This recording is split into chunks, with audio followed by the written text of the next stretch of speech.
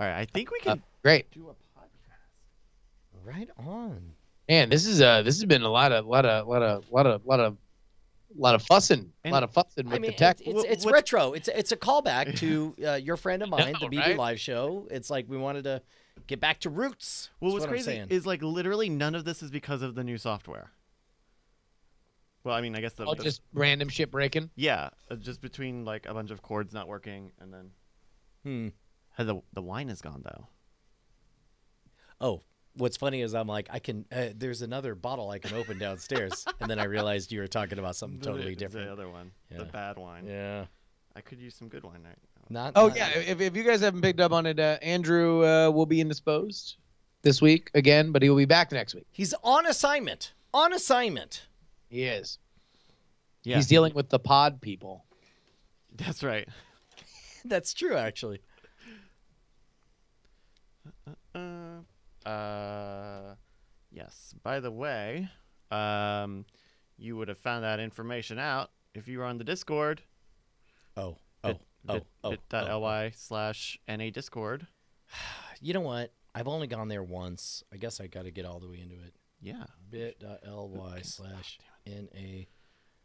You were probably already in it because you've been on phone calls in there. No, no, no. I well, but I mean, don't you have to log in? uh, It's like it's not like you guys. Oh yeah, you it's uh getdiscord.com or something, and then you just log in with your info, and all your Hmm. servers are there. But Okay. yeah, bit.ly slash na discord is your invite um, to get in. All right. Justin, I finished Yeah. Legion this morning. Uh, what'd you think? It's great. It's It's great or it's great. no, it is wonderful. How about that? It is fantastic. It is brilliant. It is. Yeah, you know, there was a little bit of a a little bit of a, a, a fuss about the um about the finale. Nope. Uh, uh, in fact, I was thinking, uh, and we could talk about this on the show. Uh, so forgive me if I repeat this, but um, what was great about Legion is that in the beginning, what was intoxicating was the floatiness of everything. The fact that you Yeah. couldn't really get grounded and it was difficult to know what was going on, and that was an exciting challenge.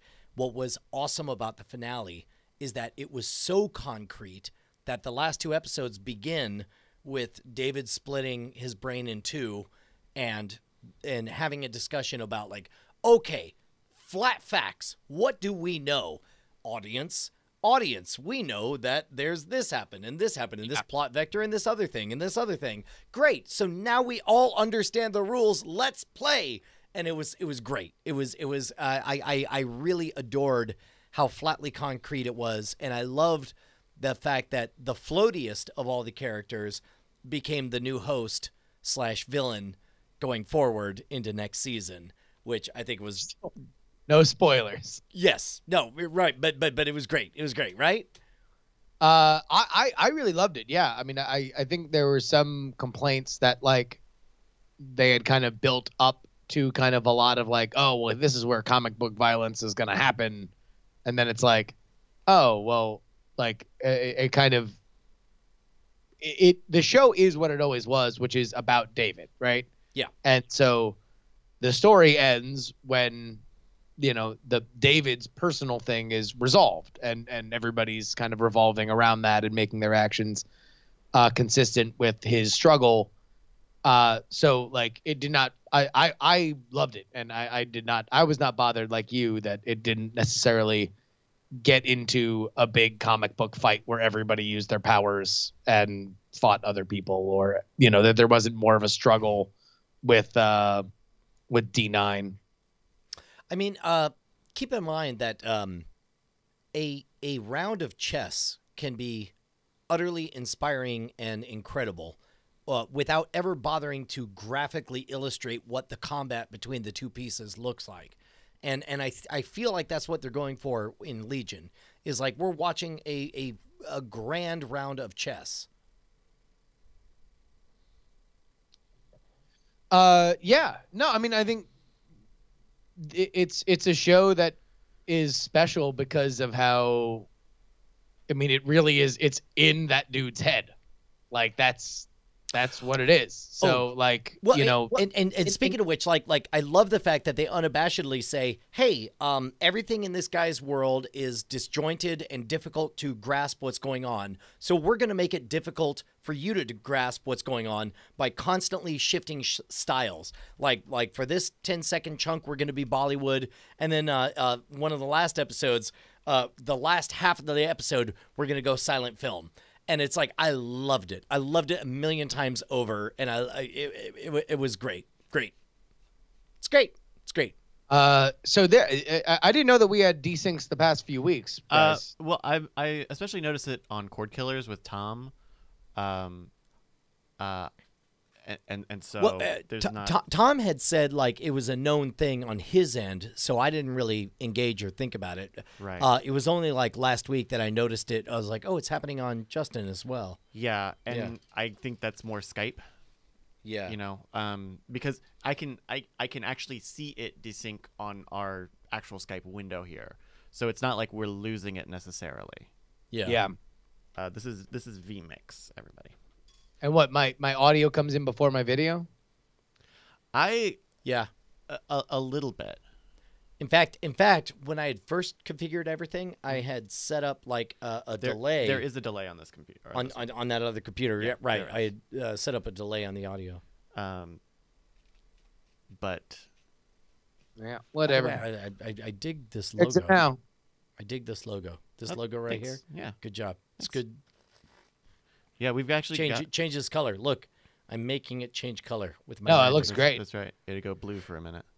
We've got uh all sorts of new um animated things. So like, we got a night attack one, uh, and if you give it a sec, the little diamond spins. Oh, that's great. Uh, we've got a spoiler in time one where, Oh, look at that. That's amazing. where it like uh it, it it it hovers around. Same for cord killers. Uh, they're a little small. I ended up making them a little small.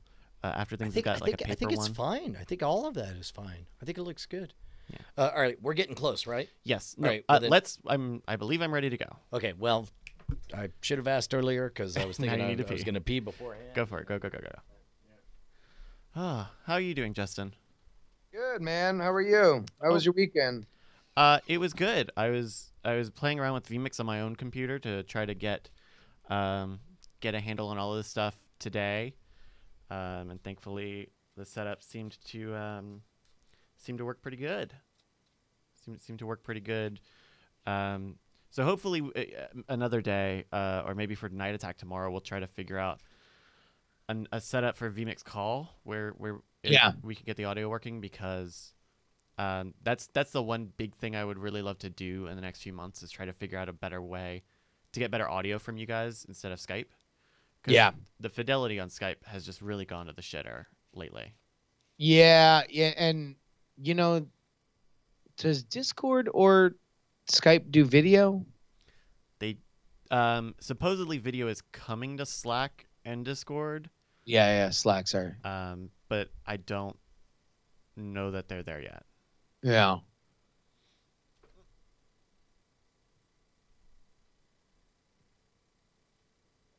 So, um, so that's that, and then and then so I was doing I was helping out with the the Rage Select uh, Ragecast over the weekend, uh, which is like a little marathon live stream, and Mhm.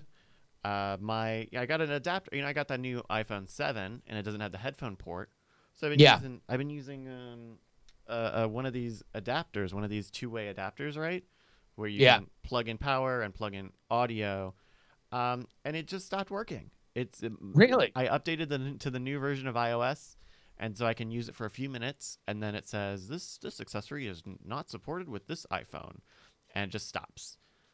Um, and I like this was the day, the day of or the day after I updated the iPhone, which is a Huh. real real bummer because I lost my official one that came with the phone, and Oh I kind of I, I kind of use my phone a lot for for music and stuff. So Dude, that sucks. yeah, it does suck.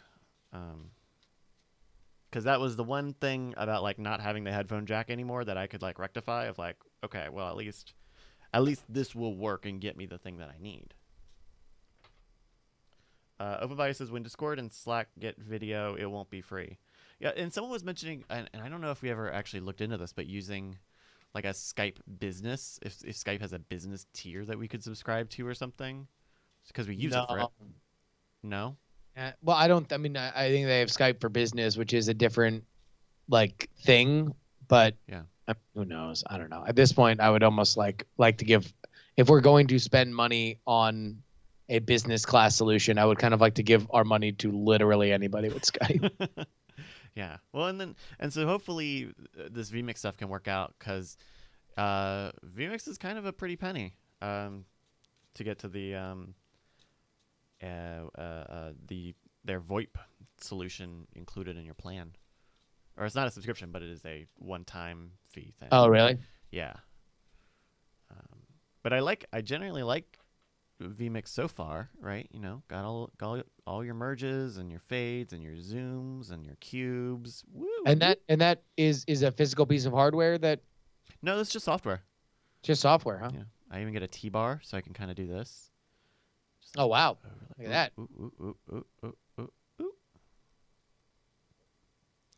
Yeah. So who knows?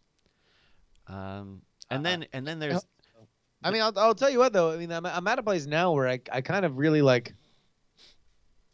I kind of enjoy uh like where I'm at with Wirecast right now for for, for what I'm doing, but Mhm. uh you know, there's always there's always room for uh there's always room for more, right? Well, and I think v- I think Wirecast is generally good enough. Like the only Yeah. reason I'm thinking of moving to vMix is for their VoIP thing, um, because it, Wirecast is a little more intuitive, just in terms of like, here are layers, and you put stuff in Yeah. layers, and then the shots have sources in them. Where here you have to have like, it's inputs, and then you have to make multis and blank sh- inputs and stuff. And so, hey, there's Jeff, there's Brian. Uh, whoa. Sorry, I missed. Uh, wait, what? What's what? I was just talking about you got to do multis and inputs. You do multis and inputs, yeah, but you Hmm. don't want to put your you don't want to put cameras on top of cameras because you can only adjust the cameras that you put on top of the camera. Wait, okay. So you set up cameras to set up so a- that you could take multiple inputs. No, you set up blank inputs so that you can put cameras on top. Because the, the if the bottom layer All right. So the black is on top. on the bottom, The black is on bottom. the bottom. black is on bottom, keep the man down. Right. Because if you And then the ha- cameras are on- watch the multiple inputs. yeah, you got it, you got, Got it. it. All right. All right, now I'm gonna be You went, God damn it! No, no, we were this close to starting. Hi, Brian. Hey, how are you, Bryce? so we have a show. There's a show in Vegas, uh, yeah. Okay, so um, the the but this is somebody else's show. correct, correct. Okay. But but, but uh, think Nerdtacular, right? Mhm. Basically, they're they're um, uh, the folks over at Ice Cream Social, uh, Paul Mattingly and uh, Matt Donnelly, Mhm. Matt and Mattingly. Uh, they are putting together a um, uh, essentially think Nerdtacular. Uh, but for their crew, Mhm. and they're inviting a bunch of other podcasts to participate. Um, I'm I'm really hopeful. Like, if for no other reason, I, I think that all of our team would get a real kick out of uh, their Fifty Shades of Grey, the musical, the parody. Oh, uh, uh-huh. Which, by the way, they have to say the words parody so that they, you know, don't get sued. But uh, eh, the only joke I could tell that makes it a parody is that Christian Grey is fat. Uh, outside of that, it's an accurate retelling of, Of the this story. Yes, Oh, that's- that's which great. is amazing. Like all they do is they shorten the plot points, and when you hear them stated flatly in one sentence, you're like, "That's that's hilarious," and then uh, Yeah. uh, on it goes. Oh, that's good. There he is. All right. All right. Yo, yo, yo, yo, yo, yo, yo, yo. You guys want to do some weird things? Uh, yeah, can you uh, goose in studio monitors just a just a touch? Hey, Justin, how are you? Yo, what up? Yo, yo, yo, yo, yo, yo, yo, yo. All right. Well, uh, uh, who's gonna start, Brian or Justin? Um, you know what? I, Uh, I I can I've start. never started. I I'll try Oh, starting. you want to start? Yeah. Start- start I, yourself? well, I, I, you know, no, actually, I take it back. Uh, y- you started, Justin, and then uh, uh, we we have, uh, you know, as we know, Andrew has ascended to heaven, but he left the scrolls of Andrew that we will have our Bible study to try to interpret to the best of our ability. Sure. All right. Well, uh, take it away in three, two. Hello and welcome to Weird Things. My name is Justin Robert Young, filling in for Andrew Mayne, who has ascended to heaven. Joining me, as always, is Brian Brushwood. Man, that was a majestic sight, was it not? Like, I, I, like that extra flair of him turning into a robot as he ascended to heaven. That was a great moment. Well, he wasn't. He wasn't turning- like he was a robot who was also doing the robot, which is a, another thing. Is that you know he was kind of doing the dance that goes along with it, uh, and uh, uh, filling in in a more vocal role uh, as he did last week. It is our producer Bryce Neshcom Castillo. Bryce. Hi, I'm glad to be back. All right, hey, uh, Bryce, I gotta ask you, man. Okay. Um, as we all know, before he defeated Werewolf Hitler, Sure. robot Andrew Mayne ascended into heaven as a robot doing the robot, but he left behind him a series of scrolls. Have you seen any of these scrolls? No. Oh, I haven't, wonderful. I haven't. I haven't read the scrolls this week. Okay. I'm a little behind on my reading. All right, that's good because I put the magic cloth over my head and I read the scrolls with the enchanted flashlight. Sure. And as you know, only I can inter- interpret the scrolls. yeah, the So, Yeah. uh, what was left behind to me? Um, uh, let's let's start with um, a clubhouse that I think we should own. Okay. Uh, I believe I believe you did send me this, and I haven't looked at it yet. Good, Can you? What? What is? What is this? Justin. Yeah. There's a uh, uh, real estate. You in the real estate game? Oh yeah, man. I'm a I'm a real estate baron. Are you? I, I, I I look for real estate and I, I, I say, hey, real estate, you better get over here because I'm a baron with it. okay. Well, it, it's so well. Well, here's my question: Is that uh, uh, would you be interested in a party-friendly estate right here in Austin, Texas? See, I- I- I've been trying to get you to Austin forever, right? Yeah. Very long time. Yeah, you're always trying to coax me out there, like you know. Uh, tr- but I think a party-friendly estate. Now we're talking. Like now, now I get I got something I can look forward to. But def- can you define party friendly for me? Like, does that no, mean? don't. I'm in. Because you want to know what? Uh, I'm gonna go the way I want to party. I don't want. I want to move there, buy the place, and then if they're like, "Hey, you can't do that. That ain't the way we describe party." Be like, "Sorry, bro. You just said party." Check the news headlines. Let me let me let me let me tease it up a little bit. Uh, uh, it's it's it's lakefront property. It's right there on Lake Austin. You could get a. Remember where we went barefoot water skiing? You Yeah. can you Oh. can you could kick out a boat on there, go all the way up to the dam and back. Wow. So that's that's great. That that was some highfalutin living, man. I'm sure everybody who's out there is like famous and and you know they're all friends with the Undertaker. Like I'll bet you that's like that's where all the cool people in Austin live. Right. Well, okay. Well, let me go a step farther. Uh, it's got a lighthouse. I mean, that seems A lighthouse. A, wow. a bit Oh. curious, a bit there- extravagant, Wait, right? what ships need well, a I mean, lighthouse I- I- granted, it's more of a theatrical conceit, right? Sure. You know, it's like we can Oh have a wait, can I can I can I Airbnb that? Uh, sure. Yeah. Can I Sure. Airbnb that lighthouse where it's like, hey, do you want? Are you an eccentric octogenarian and and want to uh, fulfill your true destiny of being a crazy cold coot in a lighthouse? Uh, Come on down. Well, uh, let's go- let's go a step farther. What about Okay. um, uh, uh, it's got a fifteen hundred square foot two bed two bath place for you to live, but that's Sure. not the, the the sweet part. Right. It's got a whole bunch of like party bungalows all around. Like um, uh, Party y- y- Have you ever have you ever been to a Renaissance fair? Yeah. Yeah. Imagine a Renaissance fair, except for instead of everybody going to tents at the end, they went to individual uh, m- uh, tiny houses, all created in a Ren Fair theme. Okay. So trailers. Is no, it a trailer no, no, park? no, no. Are you I- I- describing a trailer? Little houses, little, little Little houses. Renaissance Come houses. on. That's that's little houses is the preferred nomenclature. okay. All right.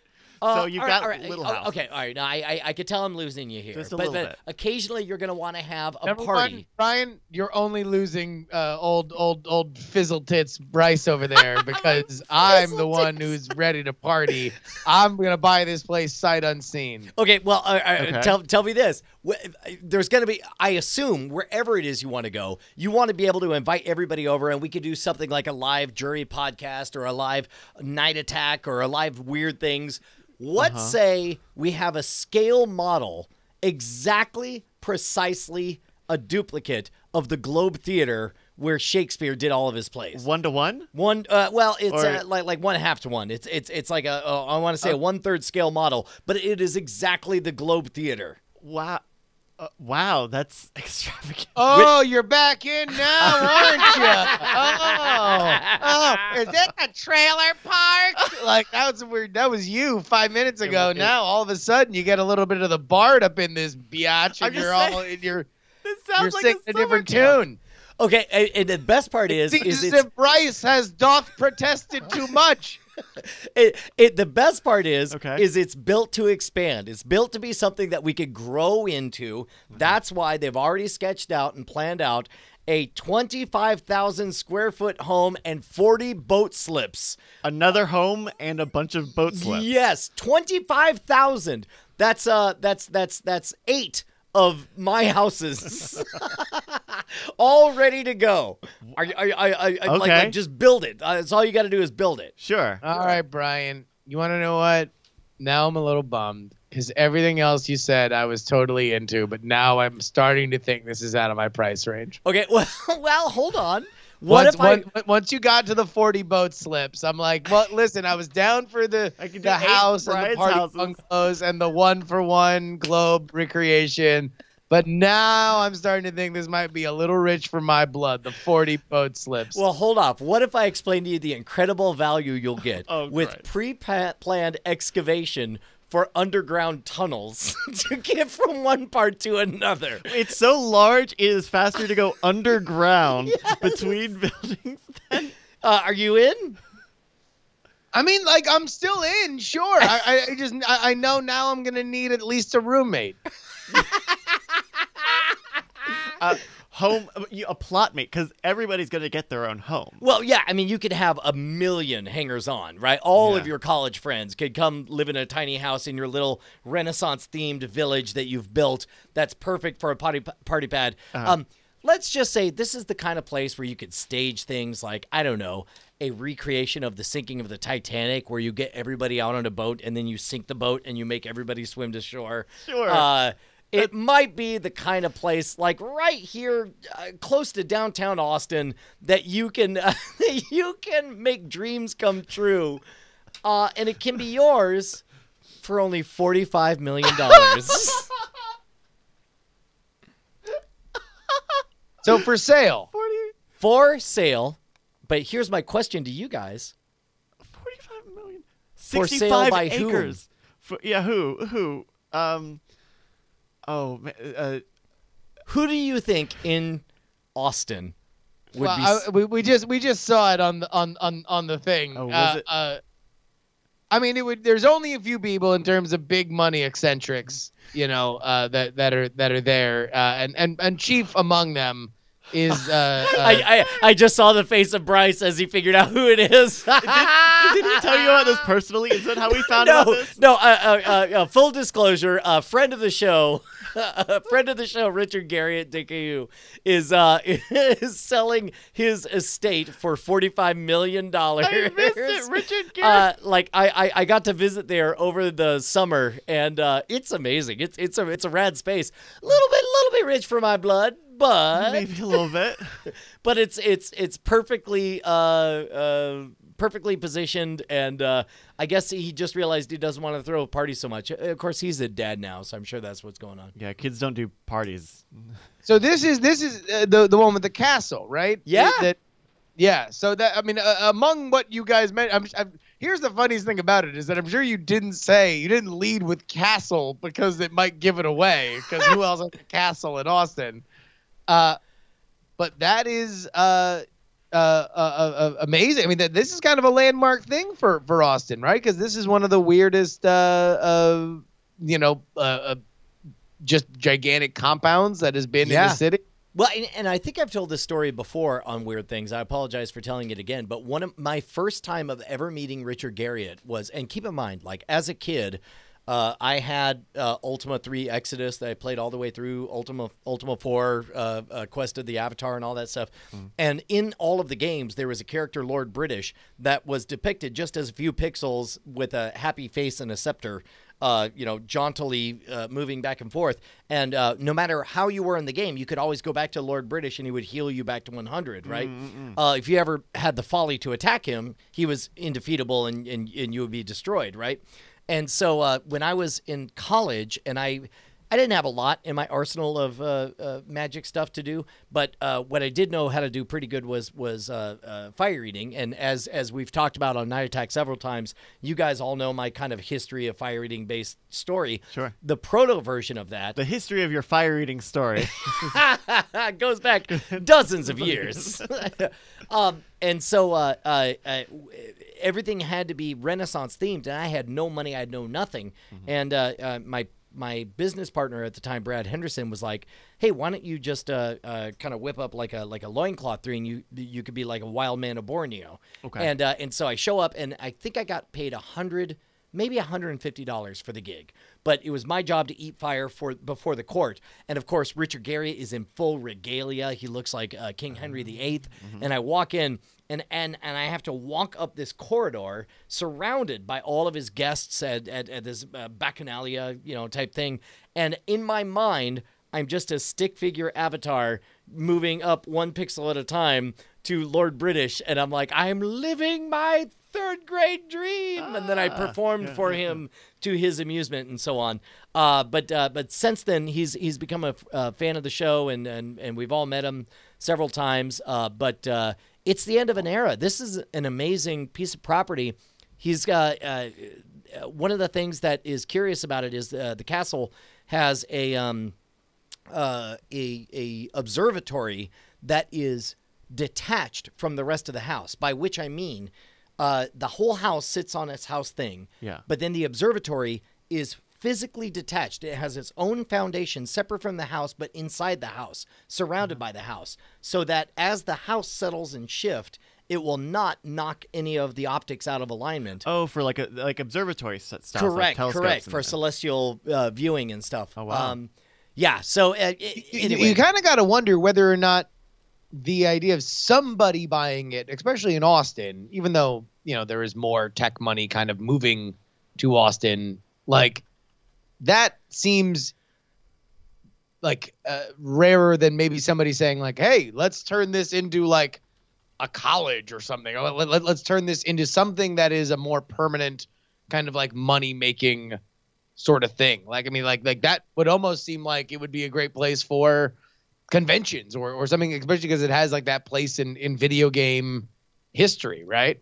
Yeah, I mean, you were describing it, and it really did sound like a summer camp. Like Yeah. bungalows and main buildings and plenty of open space and boat launches. You know, like that could be what this turns into. dude it's it's the real deal and it's it's the end of an era i i, I suppose it's an indication that um i think he had planned to have it get wilder and wilder but then he got married and had a kid, had a baby and and you know uh, in in unsurprising ways that changes you know your priorities and i think he's at a place now where he's just like yeah i'm fine with letting it go Very cool. uh, Well, I mean, but Jesus, I mean the the upkeep on that, like like that's not just like oh I bought this expensive place and now I have it. Like any homeowner will tell you that owning a home isn't just buying it; it is it is upkeeping it. And, And uh, I can only imagine what that is. I mean, holy yeah, dude, smokes. Huge 69, 69 acres, Nice. minutes Yeah, away yeah. from downtown. wow. Did, did you say nice? Little bit. 69? Well, yeah. It's a. It's a funny number. it is. um, Okay. So is this what your next goal is? uh, might might be two or three rungs higher than where I'm able to get. Couple I mean, unle- years. unless I team years. up I mean, I don't know, man. You know him. You know him though. So it's like, all right, I can get Can a I get discount. Upland's asking price is forty five. Price. But it's like, all right, but what if I gave you hundred and fifty thousand dollars now, cash? Yeah. In a briefcase. Get him a good briefcase. Get I him mean, a if, Samsonite. if if I got together, uh, I guess 69 friends, and then we all went in together Uh-huh. and created a commune, that might 68 be friends. 60. Well, yeah, no, I could be the 69. Yeah. That's a good point.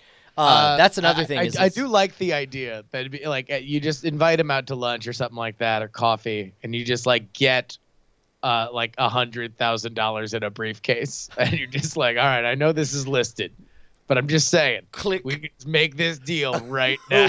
just click it open. It's like a hundred thousand dollars in a briefcase. Wouldn't you like to go buy some iPads in cash right now instead of close the sale?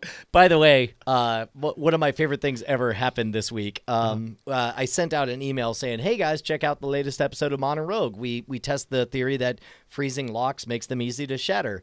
And then I got an email back from Richard Garriott saying, "Look, number one, you guys got a bunch of stuff wrong. Number two, you have to have me on to fix it." and then I'm like, "What?" and then like all of a sudden it got way more interesting very quickly. And so uh, I, I I don't know. We're gonna try to get we're gonna try to get Richard Garriott on Oh, the wow. Modern Rogue, which would be amazing. cool, Yeah. I think that would be pretty good. That'd be- wait, might- wait, so he was upset that you guys didn't freeze the locks right? Well, uh, a, was- a bunch of people were upset with that because they all had different theories. But but Was it the liquid nitrogen thing? well, and, and that's the thing. so is- the is- idea was that it was going to be household stuff, Correct. and then we ended up testing more than that because we used dry ice from a fire extinguisher. correct, correct. And so at that point, we were kind of out of our original target. that that's one of the weird parts is that on- feature creep. on- tell, tell Garriott knows feature creep. feature creep. Yeah, no, exactly. Like like like there's a uh, look. Our job is not to effectively destroy locks. Our Mm-hmm. job is to test the rumor that spraying Freon, Freon Yeah. or, or dust cleaner or whatever will allow you to shatter a lock. Stuff you have at, at home. correct, already. correct, right? And so uh, so maybe we'll revisit that. We'll we'll see how that all looks. Um,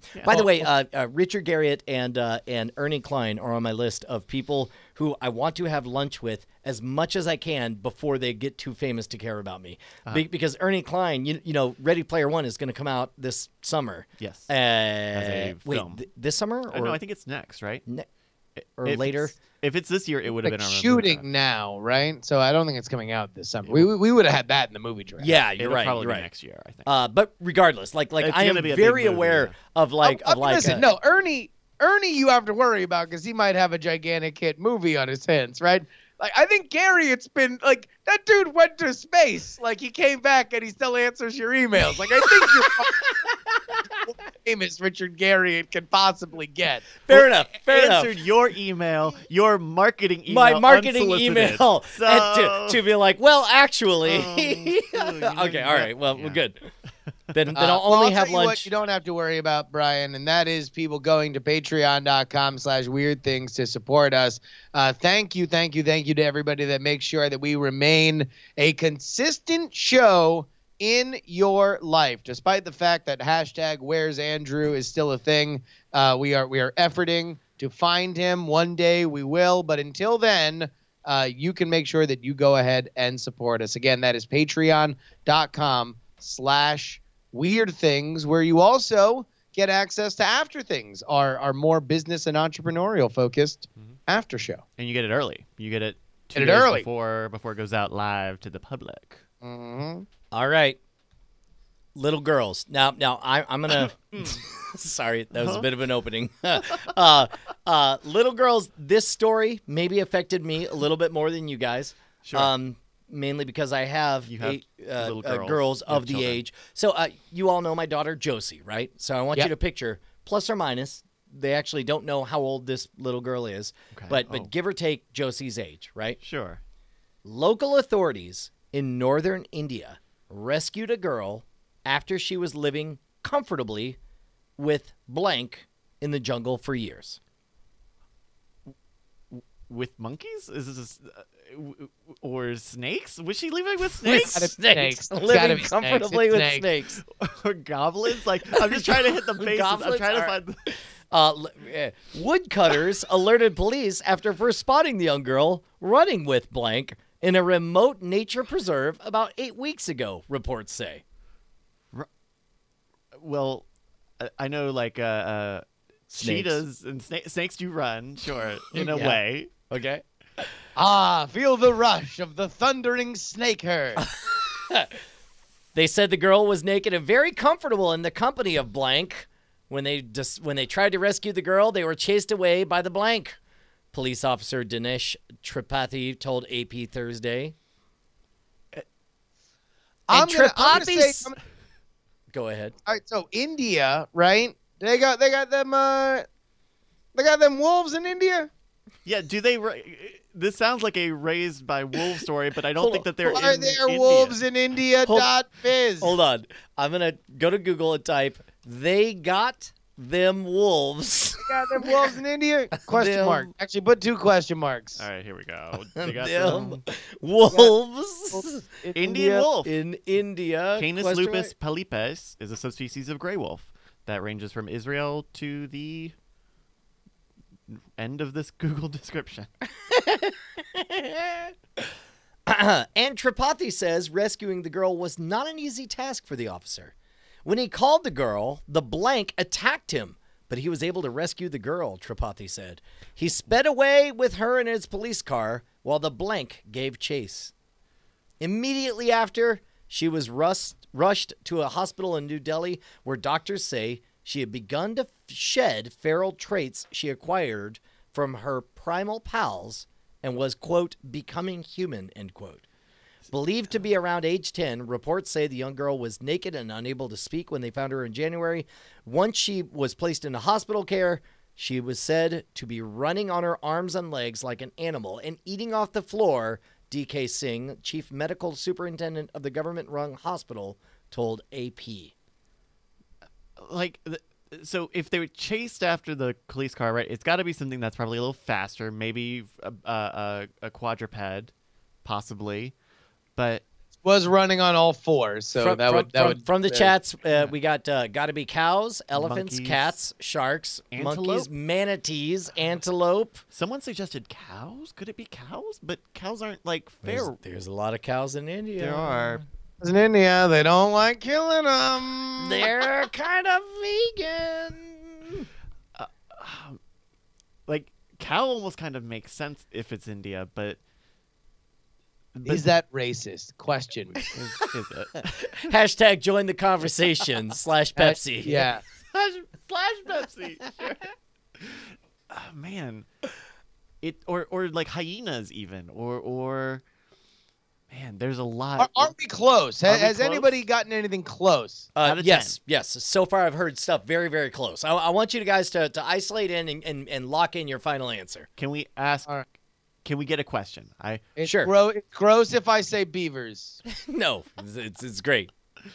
is um what what what color fur? What? Oh no, does this animal have fur?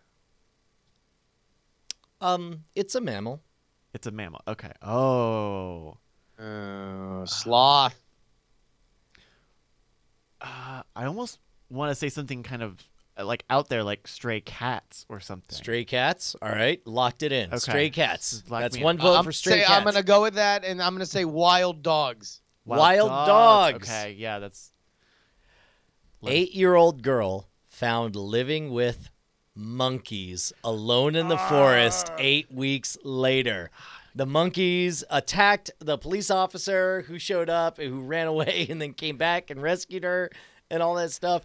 Um, uh, yeah, no, which brings up really interesting stories in terms. Of, I mean, obviously, this is there's nothing great about this situation, Right. You know, a girl you know, growing up in very harsh circumstances, but How, did they say how long she had been with the monkeys? forever as far as they know. Like like like she doesn't speak. She doesn't have english uh, in in in Or her, Indian, yeah probably. or, or, or hindi, yeah yeah.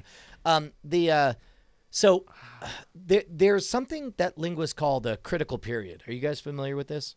That's that's the point where, as you're an adolescent, your your brain is is uh, more receptive to information, Correct. especially language. Yeah, that that's why. Uh, uh, as a matter of fact, uh, Henry Kissinger, uh, uh, former Secretary of State of the United States, has a very thick German accent. He has a brother who is just two or three years younger than him, who has no discernible accent at all, and they uh, linguists attribute this to uh, uh, the critical period. Basically, like, well, you know, he was uh, Henry Kissinger was 15 when he came, and his brother was 13, and that was enough to, for you know his brother to learn the language properly.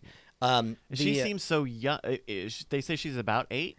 yeah, well, they think eight to twelve. Eight it's to it's a wide range, Oh, sure, so so so about record. ten. But um, th- there have been when I was in college, uh, there was a linguistics course that I took. That uh, there have been, and again, these are not the things you would intentionally set up, but they occur in the wild. They're they're what economists call a natural experiment. Um, a uh, there was a case of abuse where a girl had been forbidden to encounter anybody else uh, except for her dad or whatever, who locked her in a shed and all that stuff. Yeah. Um, and she was young enough, or she was right at the critical period, and language just uh, uh, full on just didn't quite take it, it it it you know it was a tragic circumstance but it sounds like this girl uh, hopefully is young enough that she'll be able to learn language but I, I have since heard uh like I again, bet. w- w- all, all, all of yeah. this is up for debate. Like like there, there's uh, uh, in fact just when I did ice cream social, uh, they were talking about how uh, you can't learn piano after you're 40 years old. Like it, you're just Huh. too far past the critical period. But but I'm almost certain there's going to be some example, you know, counter to that. Well, I bet even more so than language, right? Because language is something that we interact interface with constantly every day, reading, writing, um, listening, and, and hearing. Um, I I almost bet the lifestyle changes would would would be something harder for her to kind of overcome, right? I mean, it sounded like she was kind of like eating a little more properly, but but but It, it, it sounds like she was way- acting full on feral, but then Yeah. when introduced to a different circumstance, um, there, there's what psychologists call uh, social norms that, that we want to conform to. Uh, and as a matter of fact, uh, uh, the Freakonomics podcast uh, has done a number of uh, uh, episodes on the UK's um, behavioral sciences unit, aka the the, the nudge unit. And uh, uh, one of the things they figured out was that the most effective way to get the delinquent section of their tax offenders to cooperate was to send them an email that that basically just said two things. It said uh, 98% of everybody uh, pays their taxes on time. You are in the very small minority who have not yet paid your taxes on time.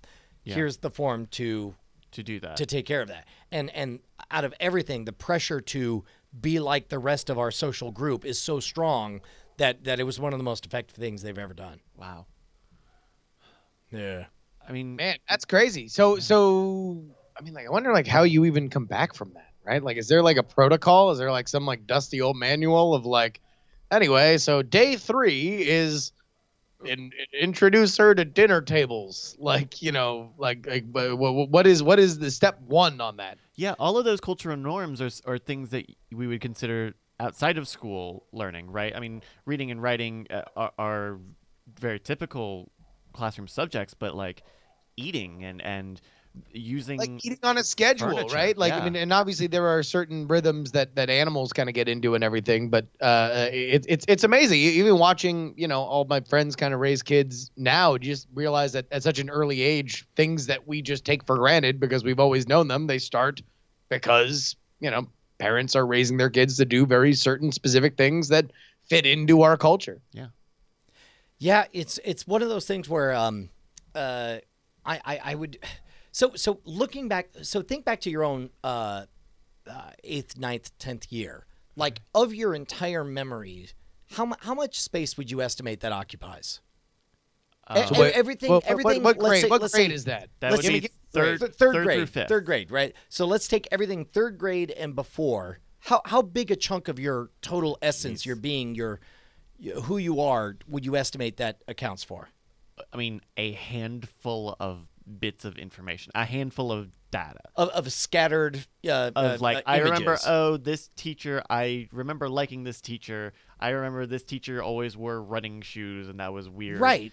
But very That's a very specific memory. well. They didn't match. They, she wore it was she wore dresses and stuff. It was not a good look. Don't be catty. Don't be catty. It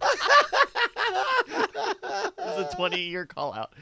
But yeah, very just small, very specific things that for some reason have stuck around, but not no day to day things like to, like now, right? I can kind of remember the past few days in, Yeah. in detail, but like very specific flags. Well, and so that's one of the things. The, the idea that um, uh, the the the tabula rasa, the idea that that we are a blank slate, and uh, and I'm thinking about this specifically because I just read Steven Pinker's book, The Blank Slate, where he uh, proposes there are different theories of mind, uh, and one of them is the idea that there's some real us that is not our physical bodies. That's like the tiny. Uh, think about Men in Black, the the tiny man run, running the the robot. Yeah. you know uh, that looks in there. Um, and uh, I, I, it turns out that that that there are inherent usness when we're born that we can't help. Uh, we have proclivities to do certain things. Some people are more angry than other people's. Other people are more athletic than other people. Nature. Yeah, exactly. Nature- it's nature nature versus versus nurture, nurture, right? yeah. Um, and and I think I don't know. It's it's been really interesting raising three girls and reading the blank slate. Really got me to kind of relax about the idea that oh everything I do is shaping them forever. And uh, and he says uh, basically Steven Pinker says uh, no no Part of them will inherently be a certain way, regardless of how you raise them. Correct, correct, right? And and and specifically, and and that's not something to be uh, disturbed by. That's something to celebrate. That that's something to rejoice and find relaxation in. It's like, well, you know, that's that's who it is. That's that's who this person is. And uh, specifically, he points out how much more a child's peer group matters than what their parents say. Oh, sure. And and the example he gives is he says that um, uh, if, if, if you want to consider it, imagine that God picks you up, straps you into a ridiculous white and pink leisure suit, and plops you down in front of a meeting of the board of advisors at your company. Uh, you would be embarrassed, humiliated. You would find it ridiculous, and you would be not interested at all in having done it. Like, uh, be, and that Unless is they were all wearing the same thing. yes, correct, correct, Well, correct. I mean, uh, yeah. Yeah, yeah, yeah, exactly. Uh, Like like because your peer group, like that is not an appropriate way to dress in this peer group. And and so likewise when parents try to do similar things from the kids' perspective, you know, make them wear certain things or make them make them adhere to random curfews or whatever, uh, they don't they don't appreciate it because that's eh, the parents I mean, you're you're there. It's it's a weird thing, man, to just be all like you're there to provide the genetic DNA, to provide food, shelter, clothing, and support, answer questions when they have them, and that's about it. The But- rest they're gonna figure out. But I think part of it is because, well, I, I don't know necessarily how this is. You're okay. This is a screwed up thing. I'm Go gonna tell ahead. you a little bit of a Go, story. yeah, come on, make it weird too. Make When- it personal. uh, when when I was in middle school, I was not a super great student. Um, didn't do great. Didn't do a lot of homework. Would forge signatures and stuff. Whatever. Oh my god! Yeah. Um, and God, I, I, wanted to see that keep going. Didn't do great. Not good at homework. Forged signatures. Robbed committed fraud. Robbed a few banks. treason, some Yeah, treason. maybe some torture, kidnapping in prison, whatever. Hey, but yeah, it happens to all of us. Ah, to be young. no, but I, I I had a little bit of a rough rough middle school, and um, over over one holiday break, I had gotten just like blanket grounded, um, and there was a weird conversation with one of my parents, um, who said, uh, and and I quote, um, "I have to love you. I don't have to like you." Wow. which is which is a, it's definitely a screwed up thing to say but uh, the point that i'm trying to get at is that you know your parents will love you right. um, and you don't necessarily need to look for acceptance from them as as as difficult compared to looking for acceptance from your peers and your contemporaries Right. you know Well, and that's the weird Well, part. and obviously you weren't, right? Like you know, you were doing things that you probably knew upset them. y- yeah i mean i, I turned it around Well, this is, I'm not putting you on trial here, Bryce. We're just exploring the thing that you brought up. Jesus. no, no, no. Um, yeah, but but but I think that feeds in a little bit to the the topic of peer groups. Yeah. Well, so so in this case, uh, we don't know her backstory, and she doesn't have any language. Uh, this little girl, like her peer group was the monkeys, and she was doing okay, okay enough. I I, I, I I would say imagine. monkey around. Yeah. Yes. Exactly. Um, but uh, but here's my question: Is considering how little of our minds uh, is occupied with everything that happened from uh, being eight or nine before, like Yeah. Do you think she'll do, do remember you this? yeah do you think she's damaged goods or do you think that that this is a case where like really her life begins now and four years from now she'll I think, barely I think, remember Like, uh, if if if if what you're saying holds true, then then yeah, it's good news because she is uh th- there is X amount of nature that will always just be a part of her, and and all this learned behavior can be kind of unlearned because ultimately she's going to be who she is and she has an aptitude for it. Now, uh, I think probably more specifically, there's going to be elements of like trust, right, and and a cultural a steep cultural learning curve, but uh, yeah, I, I think from from everything you said, it would seem like there's more hope than if these formative years were like the programming that you have in your life, and now she has to deprogram everything before rewriting something new. Yeah, that's uh that's one of the things I guess I'm optimistic and and I don't know if I'm Pollyanna on this or not, but uh like like there have been experiments where people have raised chimpanzee babies right alongside their their human babies. And one of the things they noticed is that um, human babies love sharing. Uh, chimpanzee babies never ever give anything. Like they're they're Oh. very into taking. Yeah. Uh, and and uh, in fact, it's it's suggested in some literature that that's that's what sets humanity apart is that we have a more inherently altruistic, uh, community-based, uh, tit for tat. We can remember this person did me right, this person did me wrong, that kind of thing. Or maybe And- it's even a sense of ownership, right? Like, Yeah. why share something if if it's not mine to own, it's mine to use or to. Well, specifically, specifically, it seems like humanity is genuinely unique insofar as we have the ability to um, to uh, uh, give something away, knowing uh, delayed gratification. There is no other creature that can understand delaying gratification the way humanity can. Like we can know, I'm going to give you these things, and then later I'm going to ask, and I'll get better, more of everything back. Uh, that's something that uh, inherently chimpanzees and other great apes don't uh, don't seem to understand. Wow. Yeah. Anyway, Damn. so Andrew Mayne went to heaven, and he left behind some more scrolls. okay. Well, we do we have time for one uh, quick one? And uh, what, what, what do we have time wise? Uh, I mean, we're pretty good on time. We could fit one or two more because we're probably gonna not have another journey quest, right? Yeah. All right, here we go. So I I, feel got like- one for you. Okay. Question. We have talked about uh you want to go to space? Justin, you want to go to space? I mean, if I can't go to this party bungalow, then then I mean, hell, I got to spend my time somehow, huh? Bryce, you want to go to space? Yeah, yeah, I'll go to space. Okay. Define space for me. How spacey is space? Like at what point like like on your deathbed uh.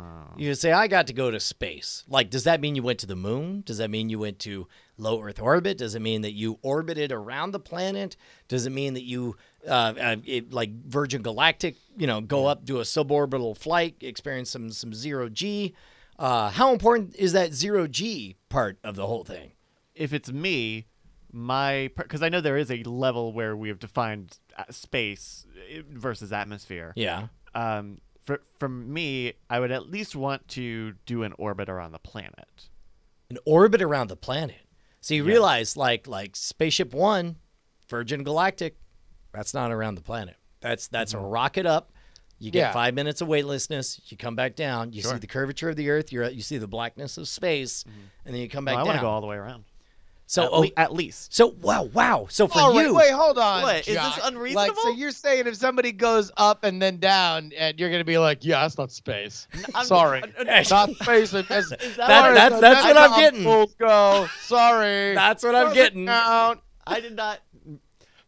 That's not. I was saying, what I for me. I am not going to disca- discredit any of the pioneers. Oh God, Justin. Out loud, out loud, but internally, that's it's gonna be that twenty percent.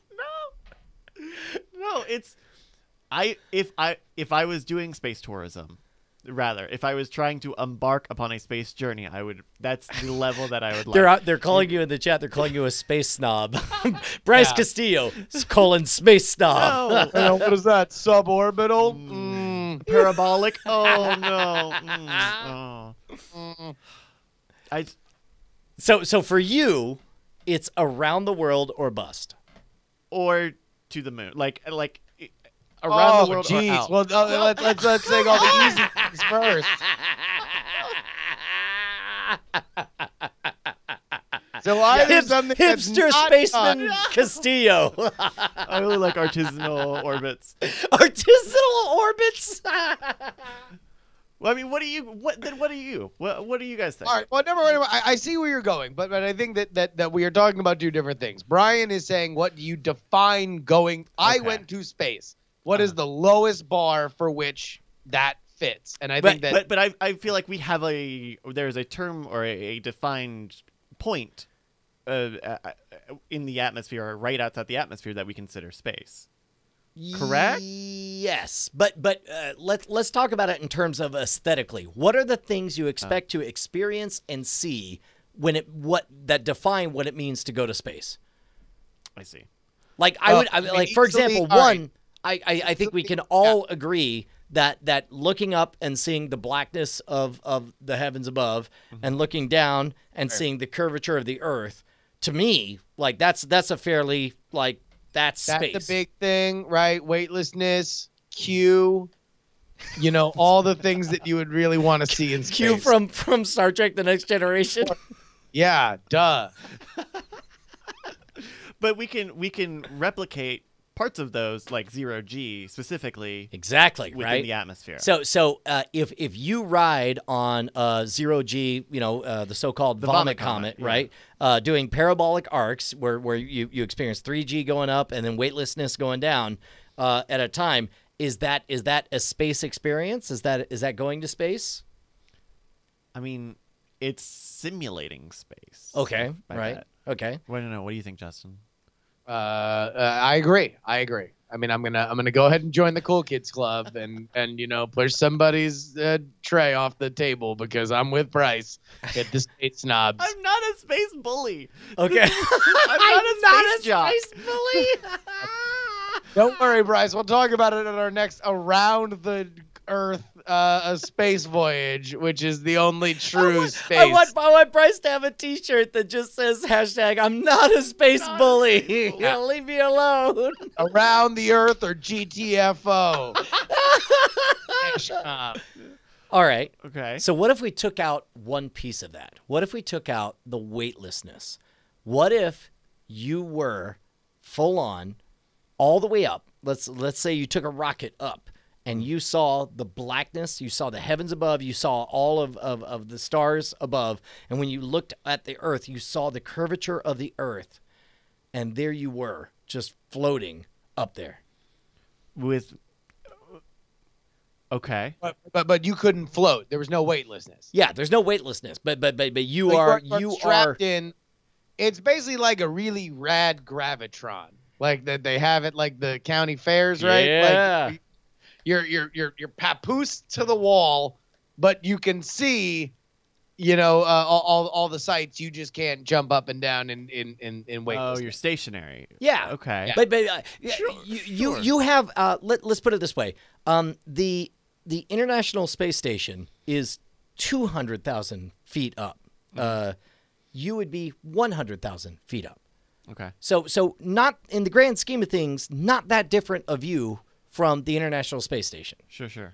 But of course, they're moving so fast around the Earth that uh, that they're able to They uh, simulate uh, gravity, That, that well, no, right? no, no, they have no gravity because Oh, okay. because they're going so fast. You would be geostationary, so you would still feel the tug of the of the Earth beneath you. So you would still have gravity, but you would be suspended um, uh, uh, three to five times higher than a commercial airliner, all the way up. So it's black above you and and Are you- curvature of the Earth below. Are you describing a space bungee cord, space bungee like drop, but in the opposite way, as, as being tethered to Earth, or You know what? I, I didn't realize it, but I am. I am. Because Worldview is a company that wants to take you to the stratosphere with a balloon. so picture this wait, okay, no giant 3G, 5G rocket takeoff, right? No orbiting the Earth, but instead you get in, you have a pleasant afternoon, you gently ascend to the edge of atmospheric space in a pressurized cabin. You get to see the curvature of the Earth. You get to see the black skies above. Uh, you get to smash your face up to the window of the rest of the universe. And then, you know, whenever you're ready, you just, you know, gently come on back down. Does that count as a space adventure to you? Oh, don't even ask him. Jeez, come on. All right, what about you, Justin? It's like, well, yeah, yeah, it's a space adventure, sure. And the next time I get drunk in a planetarium, I'm also Neil Armstrong. Uh, But it- Bryce would it is also you? cattily putting out cigarettes while while he's saying that. So, so uh, I, uh, we, we talked last week about the cost of a trip to space through SpaceX, how cheap it might get, get right? yeah. And uh, and we recognize that that it's very likely none of us will be able to afford a, a jaunt up into space unless we save exclusively for that one thing. Yeah. Um, but a balloon, pretty cheap, right? Is it? Oh yeah. Well, all right, so so I think the, the biggest thing for me with this is like, would I like to do it? Would I consider it as close to space as possible? Yes, I, I would be. I would love to do it. If anybody's listening to this and they believe that they would want effective communicators, uh, uh, we would be happy to help. Your Space Street Uh, team. However, except for Bryce, he's a snob. Uh, but the question then becomes what you would be willing to pay for, right? Like like how much you'd be willing to spend on it, and that's where I think I would I would draw the line. I I, I will do any and everything the the the flight, the vomit comet, whatever it whatever it is. If I can do it at at a price that I am happy with, or I I either had a tremendous amount of money and I could spend it on whatever I wanted, or uh, it became cheap for us. Like I'd be happy to do it. I would love doing it. I would. Uh, it would be great. But I don't know if anything like I don't know if that would be enough to have me part with like a similar amount of money that I could get a like Blue Origin or Virgin Galactic Yeah. like actual like in space weightlessness kind of thing. Because I imagine like the whole launch procedure is uh, not a function of what you get out of uh, going to space, but it is a part of the experience of going to space. Oh wait, so for you it's a negative that you don't get to exp- uh, uh, experience an explosion happening behind you, forcing your body away from planet Earth at an uncomfortable acceleration. Because I, I I- I feel like if I did that, I being able to like survive that or stomach that is kind of a small achievement in itself. Okay, mean- but that's going to easily be a relic, right? Like, I get there. There's going to get to a point where like, things getting to space become easier and easier. The the technology, rocket technology, becomes uh, an easier like Well, experience. and, and, and plus, once once rocket reusable rockets through SpaceX get so cheap that that we're we build a space elevator. Like like you wouldn't deny that taking a two day journey out of the Earth's gravity well on a space elevator. I mean, you're going to space, right? Sure. But but but to you, that's not the fun way. I mean, it would be really cool to be in the. It, there's a coolness. There's an. well, it's not really driving an automobile unless you hand crank it before you drive. Like that's the real experience. my my grandkid, Grandpa, you're so old fashioned. You're rocket booster launch. no, I just I think for right now, I think that's an, a novel part of the experience. Uh, but I Dude, also I recognize would it be would listening. Like I would get on that balloon. I'd be at the roast beef carving station the whole time, just like listening to the Pina Colada song, waiting for that slow ascent till I get to see space. If you like pina coladas and see Oh, every no. curvature of Another Earth. gin and tonic, sir. And like, there's somebody will come by, refill it. It'll be great. If you like the vacuum of space, y'all.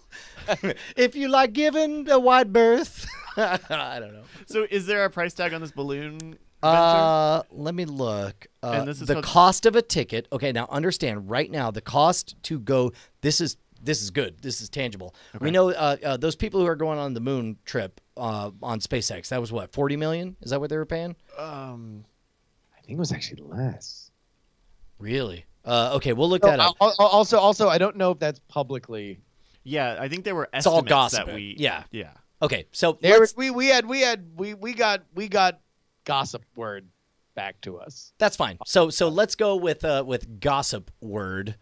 Um the uh, Similar uh, uh, trips were between uh, 81 million and a, hu- 58 million and 175 million. So Okay. two to three million digit range. Okay, so yeah, I, so I will say that what what we heard, and we can't confirm or deny anything, and I don't even remember the actual number.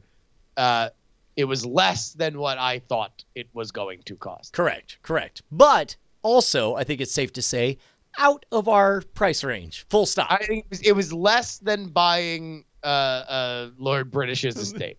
yeah. no, more, more. It was more than More? Lord British's estate. It was in between. estate. It was back and forth. Okay. Yeah. Um, so, uh, what about this? What if like and keep in mind you're get you're born, you're living, you're gonna die at some point. You got on your list of your bucket list of of go to space. Yeah. Uh, what if I told you can get you real close and you can have a good time? It'll be you and me and Justin Robert Young and Okay. and, and I'll bring And the- the Bonnie and the kids station. just for screaming Sure. to, to make it annoying. Um, the uh, uh, what if I told you we could do that for seventy five thousand dollars? Holy crap! Wait, How- we get how the does it sound for now? seventy five k? What's that? We get the whole thing. You, you no no no you you get uh, you, you get the balloon up to the Yeah. tip top of the stratosphere. Spend What's as the- long as wait, you wait, wait, want. hold on, wait a minute. What, what's the capacity? Because we might book a con right now here on this show. Like, uh, yeah, you know what? It doesn't say how many people. I don't think. Let me let me take a look at that. But uh, What's but, the name of this company again? Uh, it's uh, uh, uh, Worldview, the company that wants to take you into the stratosphere with a balloon. Like seventy-five thousand dollars. That's like, okay, so I'm gonna save for five to ten years, yeah, and then I got a seat, right? yeah. I mean this this sounds. I mean seventy five thousand dollars. It's the price that changes everything. Yeah, You're all like, you're all like, well, I don't know. Now let me rethink whether I care about orbiting the Earth. well, that's what I was saying, man. Like, it's all. uh All right, so these guys are based out of Tucson. okay. Yeah, if you go to worldview.space, and by the way, this is the first time I've ever encountered a dot space domain in the wild, and I'm very happy to encounter it. It's in your face. Yeah, space in your face. Uh, yeah, I gotta tell you. Uh, here, let, let me put it this way: Okay. Would you rather spend thirty million dollars on actually going to space, or spend two million dollars, or less than a million dollars, uh, spend a million dollars on doing the Vomit Comet five or six times, and taking two or three rides on this worldview to the stratosphere? Well, if it's an either or, like if if we're in a, are, are we?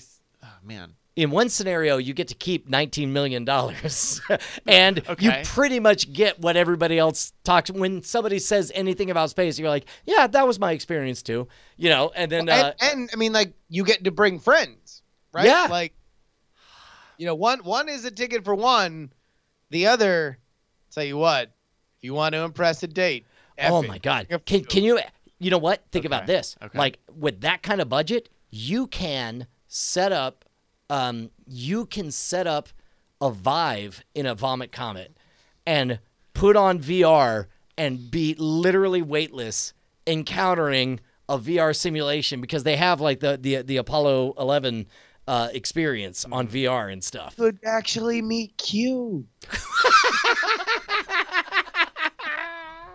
fair enough I mean, yeah. Okay. It, it, the the gross disparity in price tags. That's the thing, Is the right? thing. Is is is that because because you're right. Like like like my gut instinct is like, well, that's not space. This is space or whatever. But when you hear the price tag, you're like, ah, I mean, it's pretty much space. If if I wasn't the first person to go that route, I would feel the social norm. I would feel better about the social norm yeah. of taking of getting the Android experience versus the iPhone space experience. wow. Sorry, Android. Shots No, fired, androids. what about you, Justin? Oh yeah, I mean, again, uh, to me, it's like, would I do it? All of them, all, any, all. I would do it. Like, how would I order doing it, or how would I prioritize doing it with like the available funds? Yeah, I would try to maximize value. I would try. I would try to find the the the best possible scenario uh, where I could get the best bang for my buck. Yeah. So yeah. Do- I'm into that. I mean, I, I like the idea that if it's 75k and then you get to bring, you know, eight friends, right, or or, or defer that price, you know, Mhm. that's huge. Do, is there any sort of estimated like first launch of this? Is this already operating? Uh, oh, I mean, they're already taking reservations. I mean, it's like they've they've got flight services. If you go to worldview.space, it's a real company, and they're they're Where, where where do you book it? Where is I mean, um. Is I it don't know. Yeah, I don't. I don't know if that because they also do like payload. It, it seems like they have payload um, operation. Look at that though. Like like like like take a look at this picture. Uh, that next one right there. Uh, scroll down. There we go. Like I mean, that feels space enough to my mind, right? And granted, a lot of that, you know, the curvature of the Earth is because of a wide angle lens and so on. But I mean, I'd be down for that.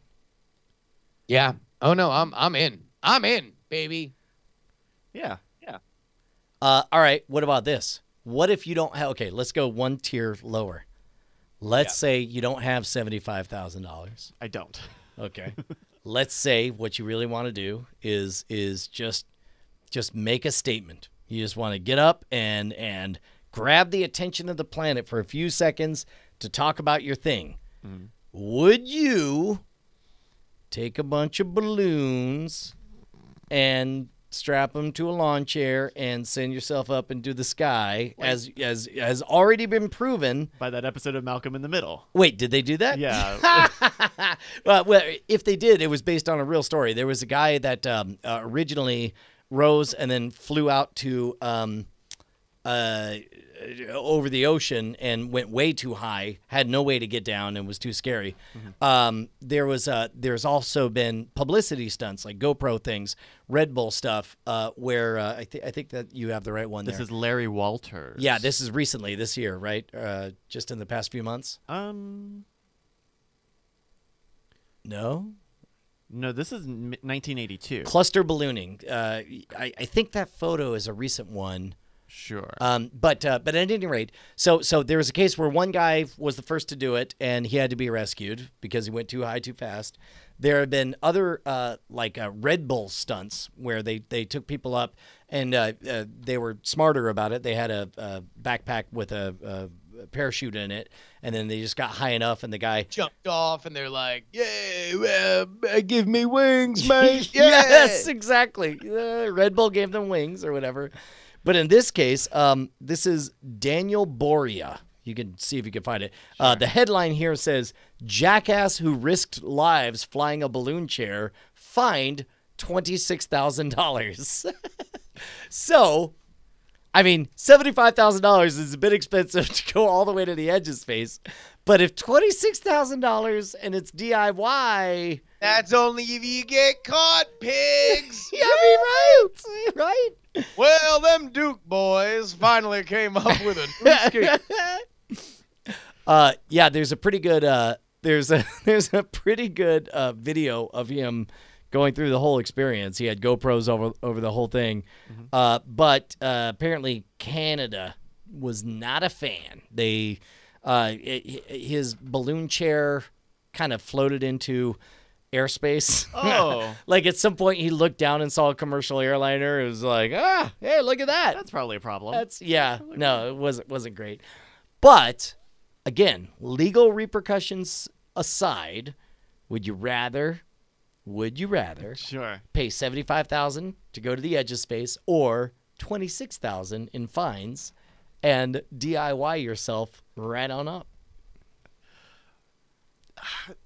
I would rather no. This is a case where I would rather have a company that does it.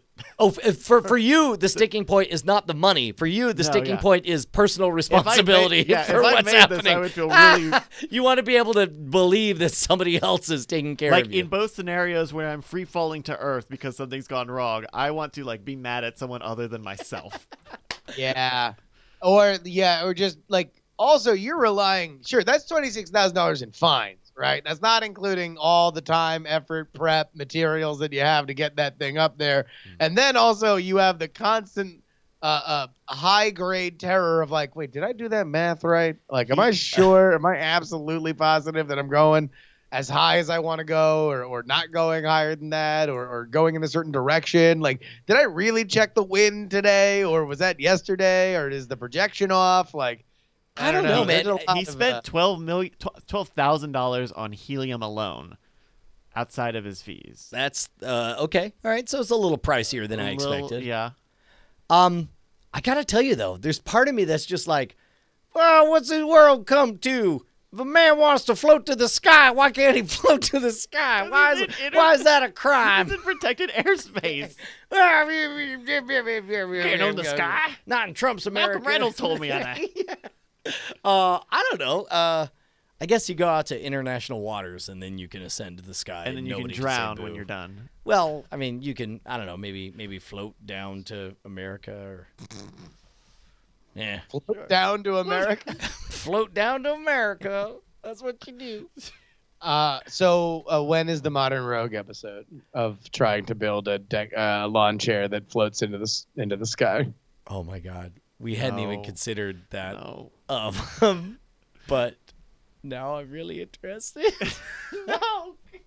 Uh, we, we we had our we were already talking about trying to put together like a zero G combat thing on a vomit comet. That is different than strapping a bunch of balloons to a I lawn know. chair at that Uh, by the way, not in the right way from your perspective because all I'm thinking is like it's a lot cheaper to just get some helium and balloons and a lawn chair. We can get way on up.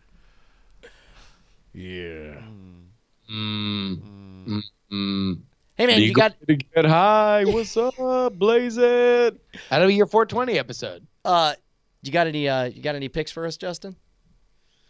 Sure. Yeah. I uh, uh what did I watch this weekend? Um oh The Americans. I'm watching uh I'm watching The Americans. I love The Americans. The Americans new season is uh is is, is happening. It's it's a shockingly competent spy thriller. If you're unaware of the pre- uh, premise, it is about a couple in suburban uh, Washington D.C. in the 80s. Uh, the only thing is that they are both Russian spies that were sent to America at a, uh, a fairly early age, told to never speak Russian again, to have kids and raise a family, so they can more effectively, uh, you know, uh, bring about counterintelligence to the Soviet Union. This is, uh, I, I think, season five or six, and uh, we are now kind of getting to a little bit more of an advanced stage of of the plot. So the story is a little bit tilting more toward the latter end of the of of, of, the Cold War uh, and kind of what pressure that puts on our main characters. But it is great. It's always great. It's great this season. I love it. Uh, Bryce, you got anything? Uh, I I rewatched. Apparently, I didn't even finish watching it the first time, but uh, this is gonna be my pick for Cord Killers. Also, is Preacher. Uh, oh, you never finished it. I never. Not even the first. The first episode. wow. Preacher- So how far along are you? One episode in. I Oh. watched it this morning Oh. for, for Cord Killers today. Uh, because it's now on Hulu. I'm so excited for you. uh yeah it's a trip and i don't i i was i'm hoping i can get another episode in before we start Cord Killers because i'm kind of at a loss with the the very wide range of personalities that the first episode presents to you Well, the the brilliance of the first episode of Preacher is that there's some over the top outrageous elements to this story that mm-hmm. you can buy in a comic book because you can get away with an awful lot in a comic book. But in order to make it work in a narrative piece of television fiction, they do a great job of inoculating you against the absurdness of some of the premises by by um, stylistically changing stuff, uh, and and and uh, you see that a lot in Legion, which is which is my pick because I finished Legion uh, today. Oh, yeah? Um, they uh, uh, by adopting the trappings of over the top, outrageous 1950s sci-fi, right in the first five minutes of of Preacher, it sort of sets you in this like, oh, blood, gore, splattering, jam on a wall, uh, spaceships, uh, uh, space pods, mind control. Uh, great. Uh, now my palette is set. And then once you have that over the top palette set, then it's able to be like, oh, and also and human drama, interaction, relationships, people you care about, and, Yeah. and that kind of stuff. and but also like this other woman who is on the chase and and yeah a lot of there's a lot of layers going on that i'm interested to see where they go because it it does feel kind of disparate like the the end of the episode kind of brings all of those things in the same place i Right. feel like so i'm in, is is this based on of a comic thing i wasn't entirely Yep, sure Yep, yep. It's an established uh, comic uh, uh, property, and as a matter of fact, like in the comic, Mm-hmm. uh, the guy uh, Jesse has uh, Jerry curls on there, and Oh. in fact, they give a little nod to it when uh, uh, one of the characters sees him and says like, "Oh, you changed your hair." Thank goodness, or something like Oh, that. that- oh, that's like funny. like a little bit of a wink. But I, I, I, I, in fact, you remember on on Cord Killers, our end of the year special, I gave Preacher my best of the year. It was the best television show I saw in all of 2016. that's right well. Uh, yeah, I mean, listen, I, I I think it's fantastic. I'm super excited for season two. Um, it, it is really kind of a, a, a treat because it's a very hard comic, I think, to adapt for television. It is one that can very easily, like, it, it- it's a comic that really, I mean, let's be fair. It's on AMC. It's a horror comic. It got greenlit because of The Walking Dead, right? Like that's that's part of the reason why it exists it would be very easy for AMC or anybody who did it to latch on to those elements that are popular right now and put this kind of very delicate, weird, amazing balance totally out of whack. And it is credit to not only the producers and writers, but also the executive producers like uh, uh, uh what's his butt Seth uh, Rogen is Seth Rogen and uh, listed, yeah. Goldberg, his producing partner, to make sure that like no, this has to kind of go in uh in order. When uh spoiler, it's not really a spoiler alert, but like what you watch in the first season is effectively a prequel to what we see in the comics. Uh, the the comics is is largely a story that takes place in many locations. This is really the story of uh, a far more fleshed out version of you know how uh, uh, all of our characters kind of got to be our characters a little bit more than we than we meet them in the comics. So it's exceptional. It has my favorite scene in all of television last year, uh, which I, I don't even want to get close to spoiling, but it takes place in a church. Um, oh, is this the uh, the, the the communications yes, issue? Yeah. yes, yes. Don't spoil anything. Uh, Uh, yeah, no, it's great. It's great. it's it's one of the greatest things ever, and uh, you know I, I I just I can't I can't recommend it uh, uh, enough for how weird and amazing it is, and how much I mean like really preacher and and I'm I'm glad you brought up Legion because you know those are are shows that in in an era of peak television where television wanted to become long form movies, right? Legion and Preacher are kind of both. It's not like that that, that they're that they're any less than that uh, ideal, but there's certainly, hey, look, we're television. We're gonna take the ability that like, you know, we can just randomly do something for one scene of one episode, and that's rad. And it can just be that, and it doesn't have to feed into anything else. It can kind of largely kind of feed into our larger story, but it's very avant-garde it's very experimental and it's very exciting both those shows very much uh, uh, have have you know become in my mind a, a an exciting part of my television viewing habits Uh, yeah, and, and more on that line. Uh, my pick is Legion, which I'm sure I made before, but uh, but but I just finished it this morning, and what I adored about Legion is that um, the the thing that made it engaging at the beginning was how floaty and ethereal everything felt, and it, you felt constantly akimbo, like you're you're having a hard time figuring out what's real, what does this mean, which of these are visions, which of these are pieces of reality, uh, and yet the last three episodes very much bring everything to concrete terms. You spend some time some floatiness, and and you uh, get to that point where. Well, I suspect this might get annoying because I don't really know what's going on. And then, right around the time you feel that, uh, uh, uh, there there is a construct. I don't think this is too much of a spoiler, but basically, the main character talks to another version of himself in in his mind, and the two of them break down with an actual chalkboard. Uh, uh, hey, what do we know? And of course, this is this is him talking himself through a difficult situation, but it also is a five minute concrete primer for everybody at home, saying these are the things that are true in this show. These are the rules that are going to follow now we have to solve this problem in order to save the day at the end. And uh, uh, it's it's great when it explodes into the ethereal. It's great when it collapses into the concrete. Uh, it's just wonderful. Aesthetically, the direction is amazing. The acting is amazing. Uh, special effects budget, maybe, maybe, maybe they'll have more dollars next year.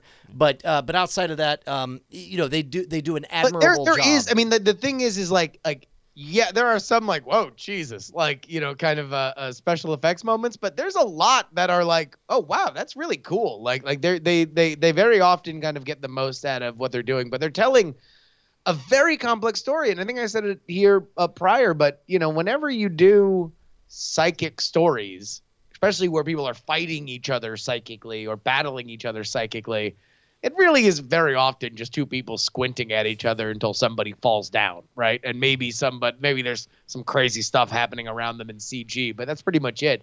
This is a faithful, exciting exploration of 70s era psychedelic X-Men.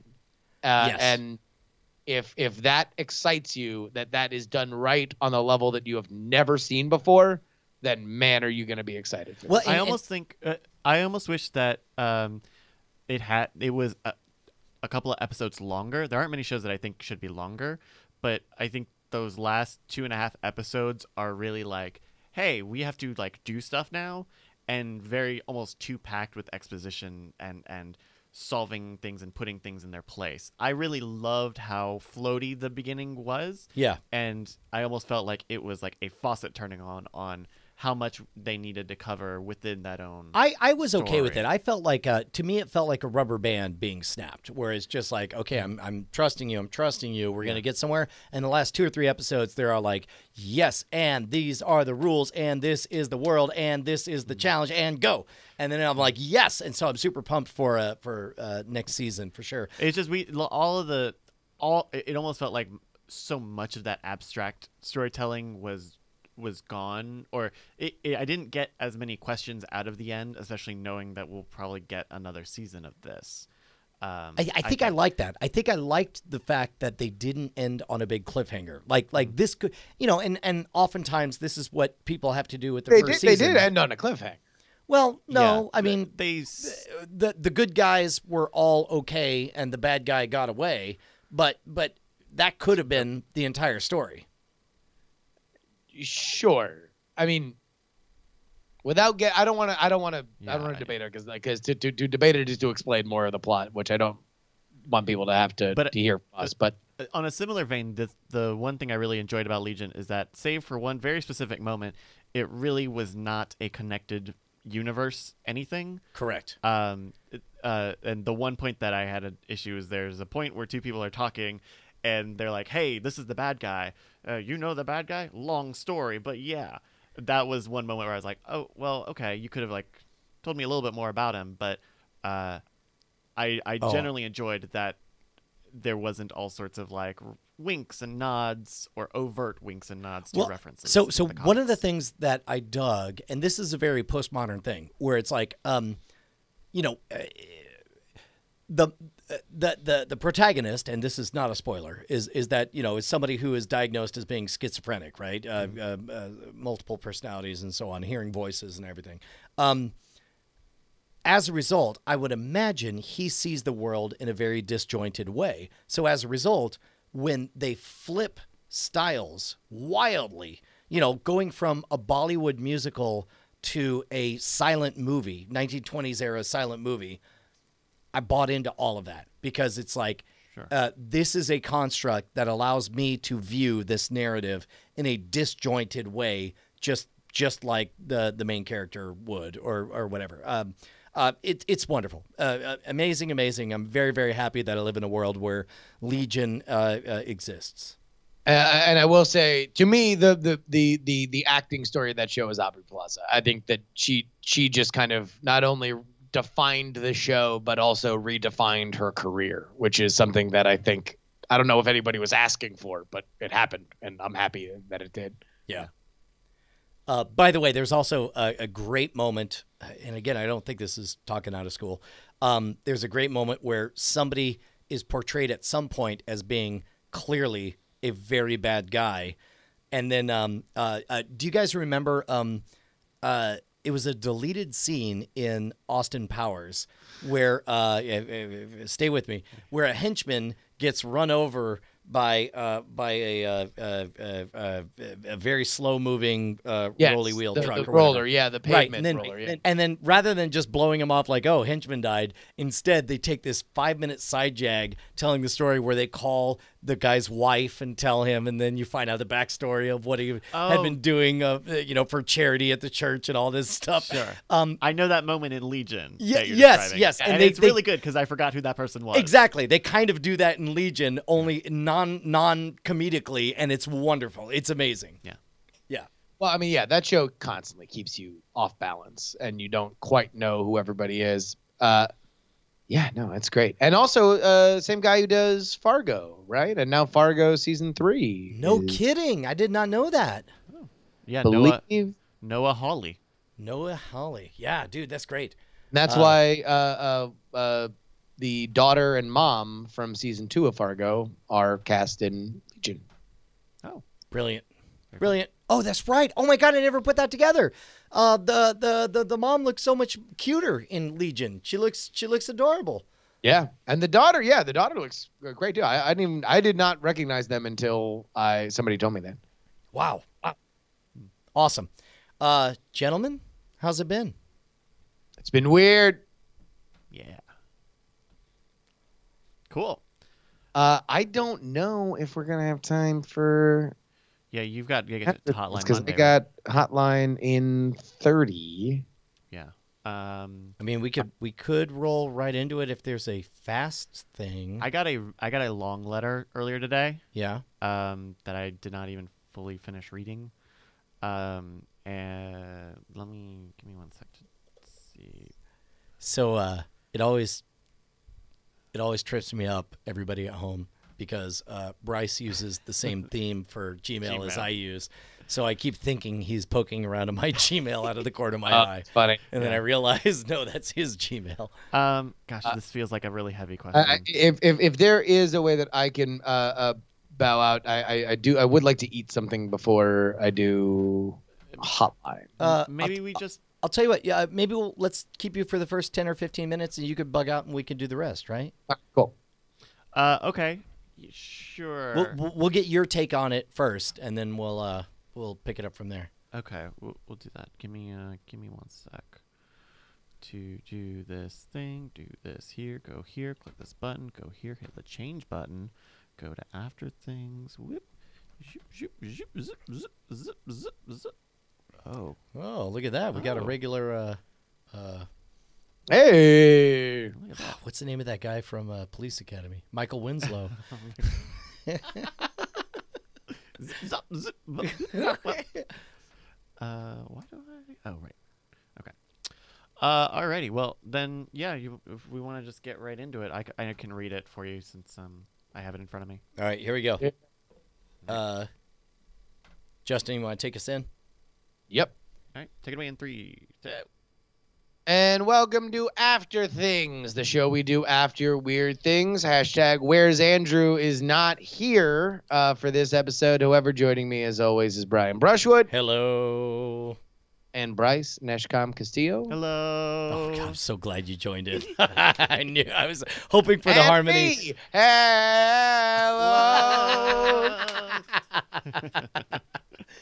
Uh, we got a letter. we did. We got a letter uh, from David, uh, who writes, "Hello, After Things. I am a content creator and would love your advice on how much or how little I should worry about short-term metrics and how much they steer my long-term content strategy.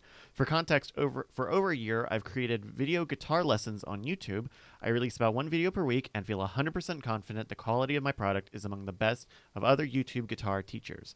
The quality of my product isn't my issue, rather, it's deciding what songs I make lessons for. The types of songs I most love to make lessons for, like Paul Simon, Johnny Cash, Lynyrd Skynyrd, uh, all of which I think are evergreen, don't have much overlap with what's popular right now, like Ed Sheeran, Justin Bieber, the Chainsmokers, uh, which are popular now but more likely to fade hard later.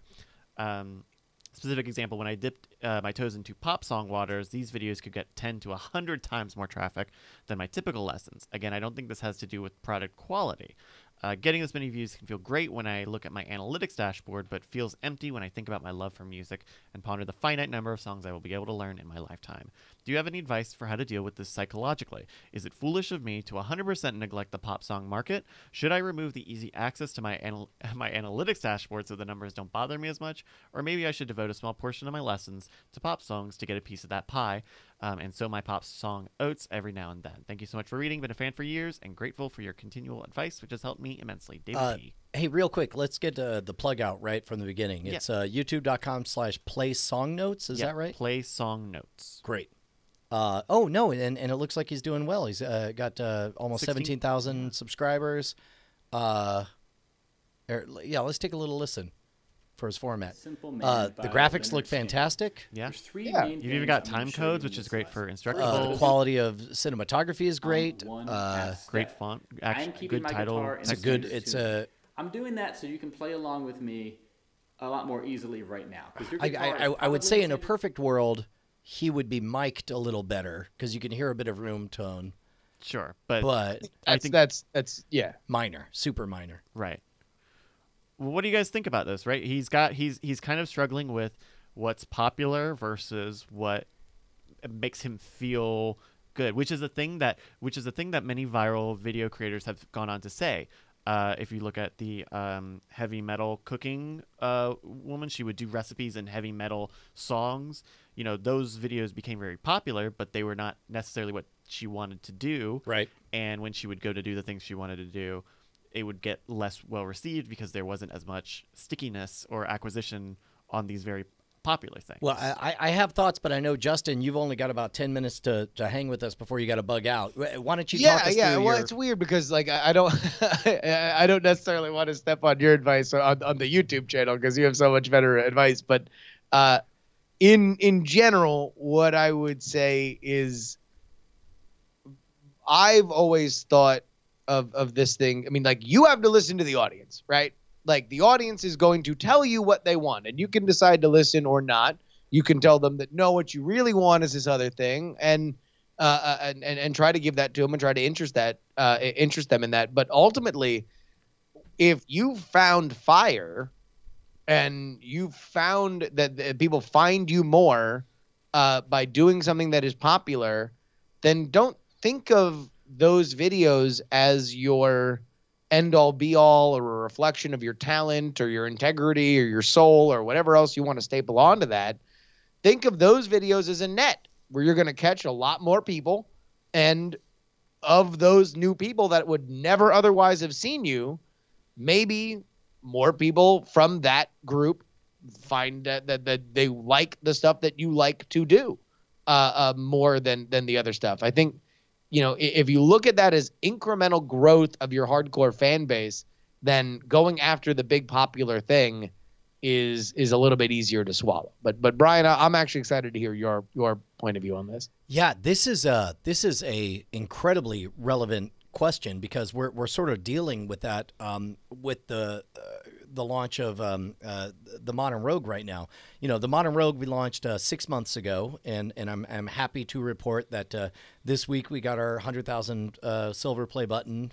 Oh my God! What a what a time in the desert, though. Jesus, six months, just you know, pulling your hair out. It, it was uh, it was a scary time. It was a scary time. So I could certainly relate with all that. But um, um, you know, there's a number of people. One are the oddest comments that we get on Modern Rogue are people who are irrationally angry because we differ ourselves from the norm. Like like people who will post comments like genuinely all caps angry saying, "Why are you not talking to the camera? Uh, uh, why why do you just talk to each other? You're supposed to talk to me." And uh, and and I understand that that is part of the recipe of what makes for a popular YouTube channel and so on. Uh, likewise, it's like uh, uh, uh, you need to do this, you need to do that, and um, there came a moment where Jason and I kind of and and Brant, you know, we, we talked and it's like, look, man, we know the recipe for a turd sandwich.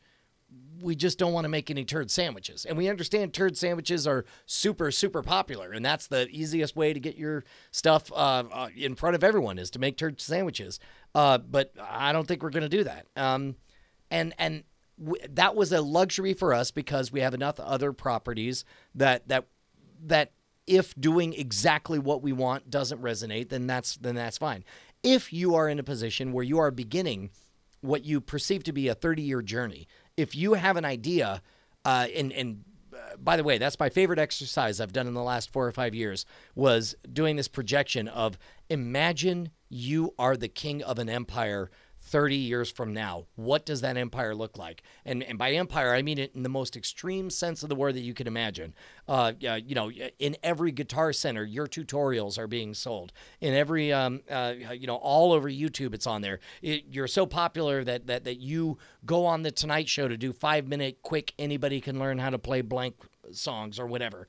Like, uh, uh think that big and then work your way back. And I'm uh, one of the things I'm betting you'll realize is as Justin said, there is no one thing you need to do. It's going to be a collection of a bunch of different efforts all at the same time. So once you give yourself freedom, uh, like what if you had two channels, right? What if one of your channels was uh, was uh, was how to play pop songs, and another channel was like how to play music that matters. So you have two channels. You have music that matters, and you have uh, uh, play pop songs. Um, my guess is that you are equally capable of applying the same formula to both of them. And yes, pop songs will blow up. But um, if there's one thing I've learned from uh, keeping, you know, there there was a moment. But, but the content. Uh, I mean, sorry to cut you off. yeah, sure. The content of th- these seems so similar that splitting them off seems like you would lose any of that associative runoff between I, the two things. I would have agreed with you a year ago, right? Because because think about it, uh, Mm-hmm. Scam School and the Modern Rogue are very very similar. They're different Uh, properties. But uh, but I think that the the subject matter is different. I think the subject matter is wildly different. Where here he's still doing guitar lessons, it's just the songs are different. um, I I would do. Uh, I, uh, there was let- reasons put- for breaking off the modern rogue. from What's that? Scam. There was reasons beyond content about breaking off modern Rogue. Yeah, in an alternate universe, I never would have taken Modern Rogue off of the Scam School channel. But there was there was reasons that that we needed to start over from scratch on a new channel.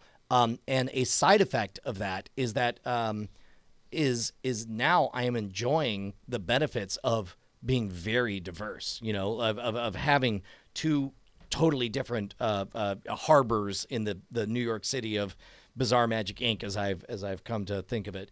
Um, and so likewise, I, I I would say that um, thinking in terms of this is my uh, this is my advertising arm and this is my uh, fulfilling arm of the business.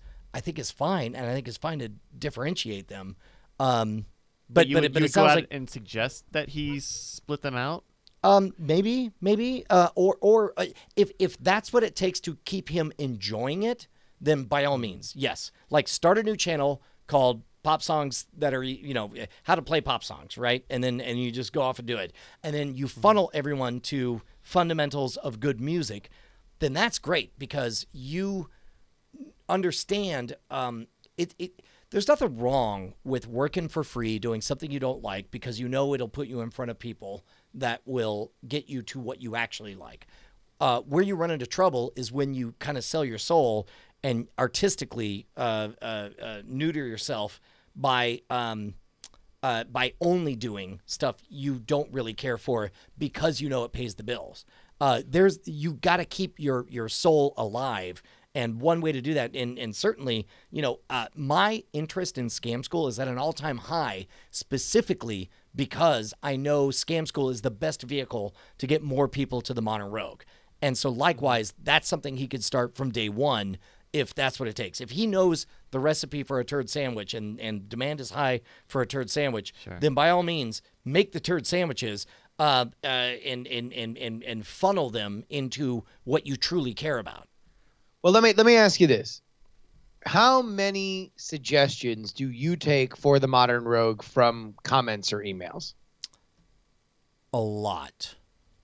I mean, Okay, how many, so like, do you mean like? I mean, we listen to everything. Yeah. But, but but like, like like so freezing a lock, right? So freezing a lock is your last video, like something like topics like that. Like, hey, you guys should try to do blank, or you guys should try to do blank. Yep. Like like how many of those? Just just ballpark percentage. I, I, I would say we're it was it started off at 10 to 15 percent and I, I'd say it's very rapidly approaching 50 percent and, okay, and, and, and I, a lot and that's probably common for YouTube channels that the more a you get a a, a following where people are asking for things, uh, uh, there's also just you know the, the unending demand for content that you're like, ah, yeah, want to know what plugs in well enough? Let's do that. Like that's that's a really good idea. Right. Um, well, and, and if he's worried about diversifying, you know, because again, uh, I I understand that the difficulty of starting over from scratch with something. Understand you could just brand it different today. Today, all you have to do, like like uh, take a look at his thumbnails and all that. There's a consistent theme he has on all those. That almost all of them are a uh, a, a bluish theme or whatever. All you have to do is make a more reddish theme for pop stuff. So so just make it clear if it's red, you know, that's going to be a pop song that everybody loves. If it's blue, it's going to be a, a song you care about and and you'll explain why. And just call them different things, right? I mean just uh I, I, I even think maybe that's. I think. I, I mean, I think that's all stuff he he can do, but I think if he just finds a good, you know, two for him, one for everybody, or a good ratio of of the the songs that he thinks are going to be popular versus what is going to make him feel better, I think that's going to be the simplest thing, and will uh, better retain, the, you know, views from these other videos, and and you know the YouTube thumbnails. You, I guess you could make him different, but that's something that he's doing for himself, right? yeah, versus- and and that's fine. Well, because because he's going to garner his own hardcore audience, right? Uh, uh, you know, the, the folks who fall all the way down into the gravity well and become your core. And and I'm thinking of you know the same Diamond Club who's watching us right now. Uh, I, you know, you can foster that uh, by encouraging people who really get what you're about um, through through that kind of uh, delineation. But uh, but uh, whatever it is, I, I I would say definitely definitely definitely do not do not be that artist who just says, well, you know, but my art is pure. I only want to do the whatever. Uh, that's fine. You could be either right or you could be successful. Uh, you probably can't be both. So why don't you uh, figure out a way to diversify and do things that you don't want to do in order to get people to what you want. And and and that's coming from a very real place right now because as we talked about last week, you know, I, I'm in the middle of this exercise. I've I've done four podcast interviews in the last week and uh, and and have dozens more lined up over the next few weeks because I realized that what I thought was a chore, i.e., showing up on other people's podcast and hanging around for an hour, in fact, is is note for note the most uh, the best possible way I could get more people to discover my stuff. And so, likewise, I would say, uh, you know, eat the bitter pill uh, to do what it takes to get your stuff in front of other people. Uh, yeah, I mean, I think to me, the the the the line that you guys have to draw, and and Brian, I know you have, is that while you take a lot of uh, suggestions from, uh, you know, chat and and uh, email and comments and everything for for Scam School and the Modern Rogue, you've kind of shied away from doing the like big uh, trend videos, like yeah, ice bucket challenge, or Hot cinnamon knife, challenge, thousand or- degree hot knife penetrates my wife. Yeah, like like you guys you guys have have have That's not the thing, right? That's again, that's murder. Oh, we went That when we did this murder. exact ad. We had the exact Sorry, thing, sorry. That's murder. unless you call your wiener a hot knife. Um, and then it's probably against YouTube's TOS. no comment. Uh, but but yeah, but I mean, but but that's that's a line that you drawn, right? And and it's like, okay, well, you want to listen to X amount of your audience, but not Y amount of your audience, and and that is something that like I think.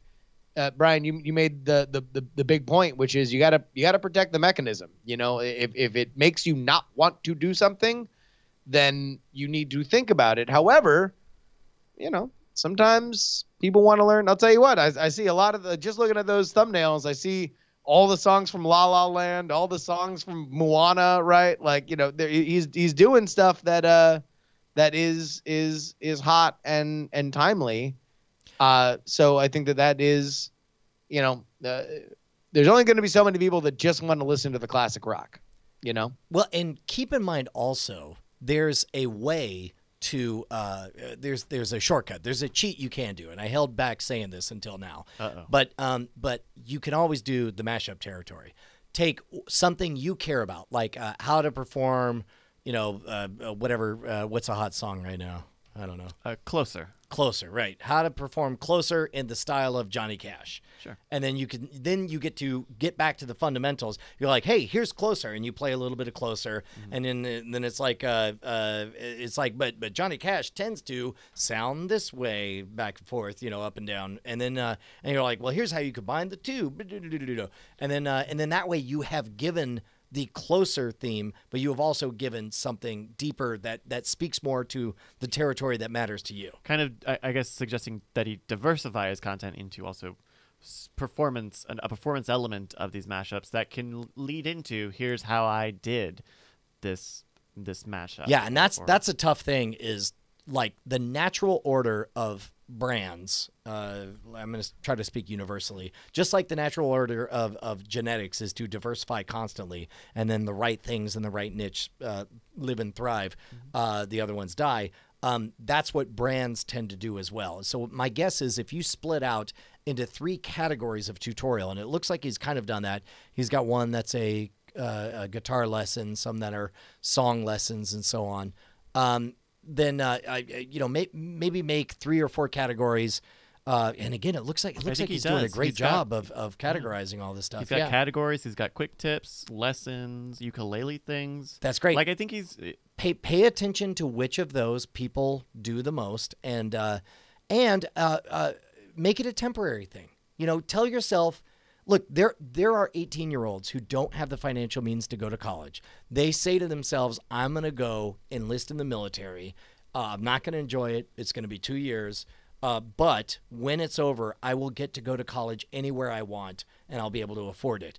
Uh, same thing in the YouTube world. I mean, just you know, y- y- you got to eat some turds for a little bit, and then and then you're going to be able to come out the other side and do the other thing. Because, uh, for example, you know, when I quit my day job, I knew that the one thing I knew for sure about a successful magician is that that magician, there's not a single day you could meet him and he wouldn't be talking about the show he has coming up this weekend. So whether it paid or not, I made sure that I had a show every single weekend. I used to drive three and a half hours to uh, to Houston to perform for free at a local gig for 40 people uh, uh, and then turn around and drive back because that was better than the alternative of not having anything on my calendar.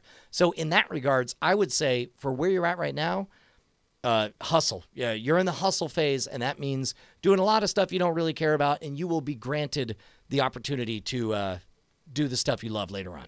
you know also and and and this will be the last thing i'll say is is just continue to listen to your audience because i think a lot of the like anxiety comes from you being afraid that what you're hearing is your worst fear. You know that it's like oh god another Chainsmokers thing that blew away my willie nelson tutorial. Like i guess i'm just the Chainsmokers guy now like and all these songs that i hate yada yada yada. But keep engaging. And and and tr- like, like like what Brian said about like you know uh, splitting off. It's like okay, well then yeah, then then try the like oh well you like that? Well here's a great thing now that you've already heard that now figure out a way that you can do the ultimate mega mix the next time you're at a party or you're at a gig or something like that. Like uh, uh, uh now branch off that and do things that interest you a little bit more based on people's interest in in those songs. So so you're not don't put don't let your mind put yourself in a box where you're just this trained monkey you know keep listening to the audience and when you try new things that are in that direction that you might like a little bit more or find more rewarding then you know i think you're going to find that it's never really as dire as you think in the head in your head Uh, yeah, I mean, don't treat it as as uh, compromising. Treat it as uh, as work. Yeah, uh, okay. You, yeah, no, I, yeah, I, that's a good way to frame it. Like, I'm like, doing like, this popular song, and then I can do this this reward for myself. Right. Like it, it's it's it's kind of a weird thing because it's the creative space, but but like they Yeah. go hand in hand. I mean, I mean, uh, uh, uh, all right guys i'm gone i'll talk All to right. you All right, Bye, take care, Justin. Justin. Uh, I, I I'll say for for for me, like all things being equal, if it's three o'clock on a Thursday afternoon, I would rather be playing Hearthstone and watching Legion than appearing on any podcast for anyone for any reason ever, right? But I've realized, you know, I, I I had this come to Jesus moment where I'm like, oh yeah, no, if I want Modern Rogue to be successful, I have to do the legwork that involves uh, showing up for free on a lot of people's show and caring and trying to be funny and, and engaging and entertaining and tell stories and so on. Yeah. Um, uh, I, I like that way of couching it as, yeah, you got to do the work. And for him, the work is uh, if there's a button that you know, like, think about it. Okay, let's say there's a Lynyrd Skynyrd song that you really want to share. You could share it today and reach a thousand people. Or for the next, you could wait one year to share it. Uh, and in one year, you can guarantee that a hundred thousand people will tune in and watch it. Why would you not just decide, well, let me build the platform so I can reach 100,000 people, and then I'll finally do the stuff that I like for me? Yeah, and and in most cases, I would I would say that that delayed gratification may not be worth it. But he, he he's got a very good sized channel. He's making a really good product. Yeah. like you know, It does look really, really good. it's it's really well made. You know, treat it treat it as, see it as work and not as a compromise, and then understand that you are rewarding yourself by getting to you know there are very few creative people who get to do what they want full time you don't just get to do that including the people writing In the songs that he's made Oh, to no no no no no. Like like the people the the, the songs that The he is resenting teaching i guarantee a healthy number of them are performed and written by people who don't love them either. But Yeah. they're like well i know this is what sells and and then they they, they do it. Yeah. um i i don't know if as long as the end goal is to get people in your camp to build your tribe and by the way think about it this way uh, david. Um imagine think about what you would do to build a, a, a pipeline directly to the 5000 people who love your stuff the most. This is a way for you to build that bridge is you have to start somewhere and this is a way to lure people into the trap to eventually uh, scam school intentionally is the very surface level of magic because what I care about, what, what is important to me, is I want to lure people all the way down into the bottom of this gravity well where they become addicted to magic and, and, and the nuances of deception and psychology and so on. But that's not going to happen on day one. It's got to start with dirt dirt who wants a beer uh, and so as a result scam school is always going to be dirt dirt who wants a beer okay yeah and so and that's fine because it is serving a very important uh, part of, of the puzzle. And by the way, for a dirt dirt who wants a beer, it's a, it's a fine show, and I I, I, really I. Really like it. In fact, I'm going to change the title dirt- to, to dirt dirt who wants dirt dirt dirt dirt who wants a beer. but but I, I, but that's also something that is a part of the education element, right? Uh, Scam School is an educational show, Right. So is his guitar lessons. Yep. You know, you are either going to appeal to the surface to the large surface area of of people who want to find out how to play a Chainsmoker song or Ed Sheeran song, Right. um, and of those people, some of them will want will like how you teach and will want to know more. Right. Some of these people will want classic will like classical rock and will want that from you. And those are not unrealistic niches. Well, and Those and- people and- exist. That's not crazy. Exactly. Like like just build that engine. Don't don't don't fall into that trap. Uh, uh, most of the artists that I talk to have a fantasy, and it is an abject fantasy that does not exist. And the faster you divest yourself from this fantasy, the happier you're going to be as an artist. It does not exist. That story that we've heard a million times over of raw talent that meets up with somebody who wants to do the business side of things. That does not exist. And every story you've ever heard about that is a lie. Uh, uh, uh, th- there are versions of it that are true that are a, a business minded person completely screws over an artist and, and, and, and turns them into a commodity and makes all the money and leaves them dead in the dust. That, that does exist. But this idea that there's any kind of harmonic place where you can decide that your job is only to play guitar, only to do magic, only to tell jokes, only to paint paintings. And if That so, then you have to not exist. understand that the compromise in that is being approachable or being or being accessible, being you know, uh, mainstream or recognizable, putting yourself out there to be a mainstream appeal such that you can continue to hone into what it is that you want. Correct. that. Yeah. Correct. Uh, Is that i- is is that um the garage myth? The Garage Myth? I've not heard the. the oh, I thought that might have been a book you recommended. Uh, no, I haven't heard of the Garage Myth. okay, What's never mind because I haven't read it. Oh, okay. Uh, what, what, uh, my my my my guess on what it is is um uh th- the idea that people starting out and um the the idea that building you know an entire business right out of your garage is uh at best a very uh specific way of describing different success stories like Dell or Apple, right? Yeah. Well, uh, that's one thing that is for sure. And and by the way, when you start, very often you are all on your own, right? And you can only re- rely on uh, you know your best friends and your loved ones to help you out.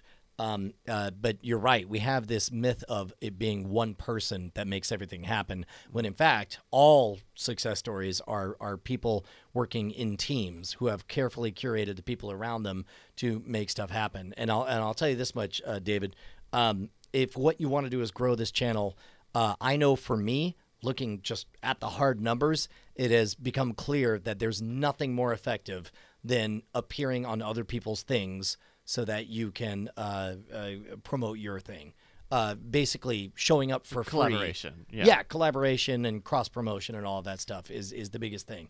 So uh, I would say secondary to even worrying about. Uh, a lot of us want to chase the idea of viral success. We want to believe that if you have the right idea at the right time, it'll just take off on its own, and that does happen from time to time. But again, like what I mentioned earlier, those people don't get happy because those are often not the things that they want. Correct, correct. Well, and, and also it's fleeting. It's a, it's a fleeting rush, and we've seen that we've seen that two or three times on the Modern Rogue. Now there have been particular videos that, for whatever reason, have exploded, and I don't understand how that any of that works, but it seems to have worked.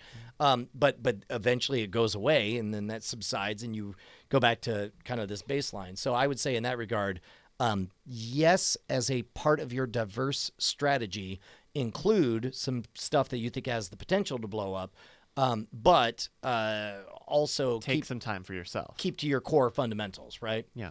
Uh, also, I'm noticing that he's right here in Austin, Texas. Yeah, he's in Austin, Uh, Texas. Dude, definitely uh, send me an email to brian at shwood.com and we should uh, hang out and have lunch. Yeah.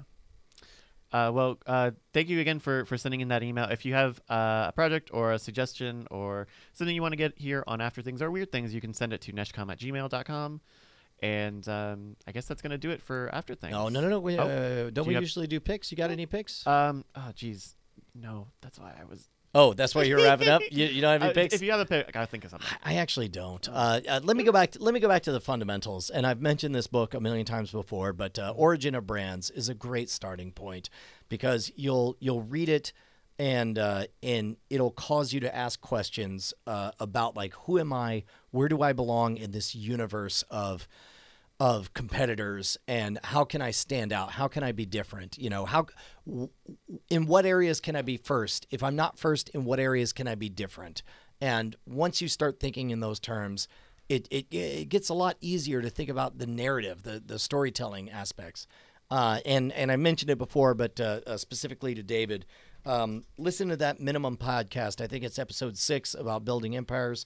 There's a five minute exercise that you can follow that'll cause you to think bigger about your uh, your future prospects than you would uh, otherwise think. I think. Yeah. Um. I. I. I I'll have a pick. Um. It's not necessarily the most um tied to this episode or, or to David's situation, but you, you mentioned a podcast. I I have been listening to a new podcast that I really like. Yeah. Um. It is a comedy podcast called Your Kickstarter Sucks. Oh wow. Uh. It is based off a uh popular Tumblr blog. Okay. um, and two of the authors of that blog are doing this podcast now. Um, and it's very casual. It's a very just like it's just these two guys, Mike and Jesse, and and they have a really good chemistry between each other. Yeah. Uh, but it's also very low energy. Like you and Justin, I would say have kind of a high energy Yep. relationship, or you know, especially on the show on Night Attack. Um, but these guys are very like uh, uh, just casual and and and uh, the the friend like it's a friendship. It's a good it's a good friendship.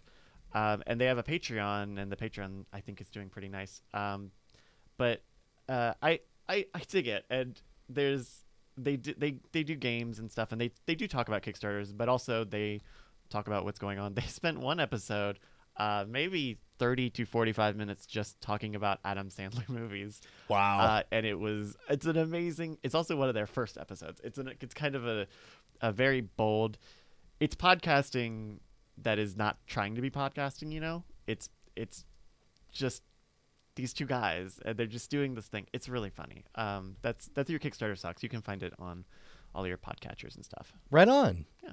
Awesome. Hey man, uh, well, uh, we miss you, Andrew Mayne. We expect you to return from heaven very, very soon. But until then, it's been after. It has. Cool. Good shows, everybody. Uh, and that was fun. yeah. Uh, uh, that that hot minute that that all of the weird things team left just you and me in charge of the show. all of a sudden, I realized like, oh, nobody can take us out. Yeah. Oh my gosh. Um. What, okay, you're, uh. Oh, I was telling Justin. Um. My. My phone adapter doesn't work anymore. The phone headphone adapter that I Yeah. used to plug into the board. yeah, yeah. I updated my phone and now it doesn't work. Huh. It'll work for like a minute and then it's like, oh, it's unsupported. I ended up buying like more of those. I got to buy you? more. Split. Yeah, The th- official th- This this dongle list. Uh, you know, this dongle life sucks. it does suck. It's garbage. Um. Do you? Can I get one of those? Uh, I got two of them coming, so sure. Okay. Yeah, I'll give you one. I, I just like they were only five bucks each, so I was like, eh, I- Oh, but are they official? See, the, the thing is, I'm worried. Like, if they're not official, I don't know if they're still gonna work. Eh, we'll find out. Well, yeah, I guess so. We'll see. Uh, dude, what did you think of uh, VMix? I like it. I, I still need to get um like uh, a, a keyboard shortcuts uh, to, or like spacebar. The spacebar is a shortcut you have to define, I see. and so I don't have that. I have to, but it's it's really cool. You should check it out uh, if you have some time. Um, it's it's it's a pretty cool thing. It, it looks like it's more svelte. It looks like it's uh, and, and I don't have any way to go with this, but It it's like I get the vibe and I that it takes up fewer resources. I, I don't. It's hard to judge that, right? Because we're not running XSplit on top of it, right. and it's a, a pretty brand new So it does so work directly with Skype Yeah, and it so on. does. Okay.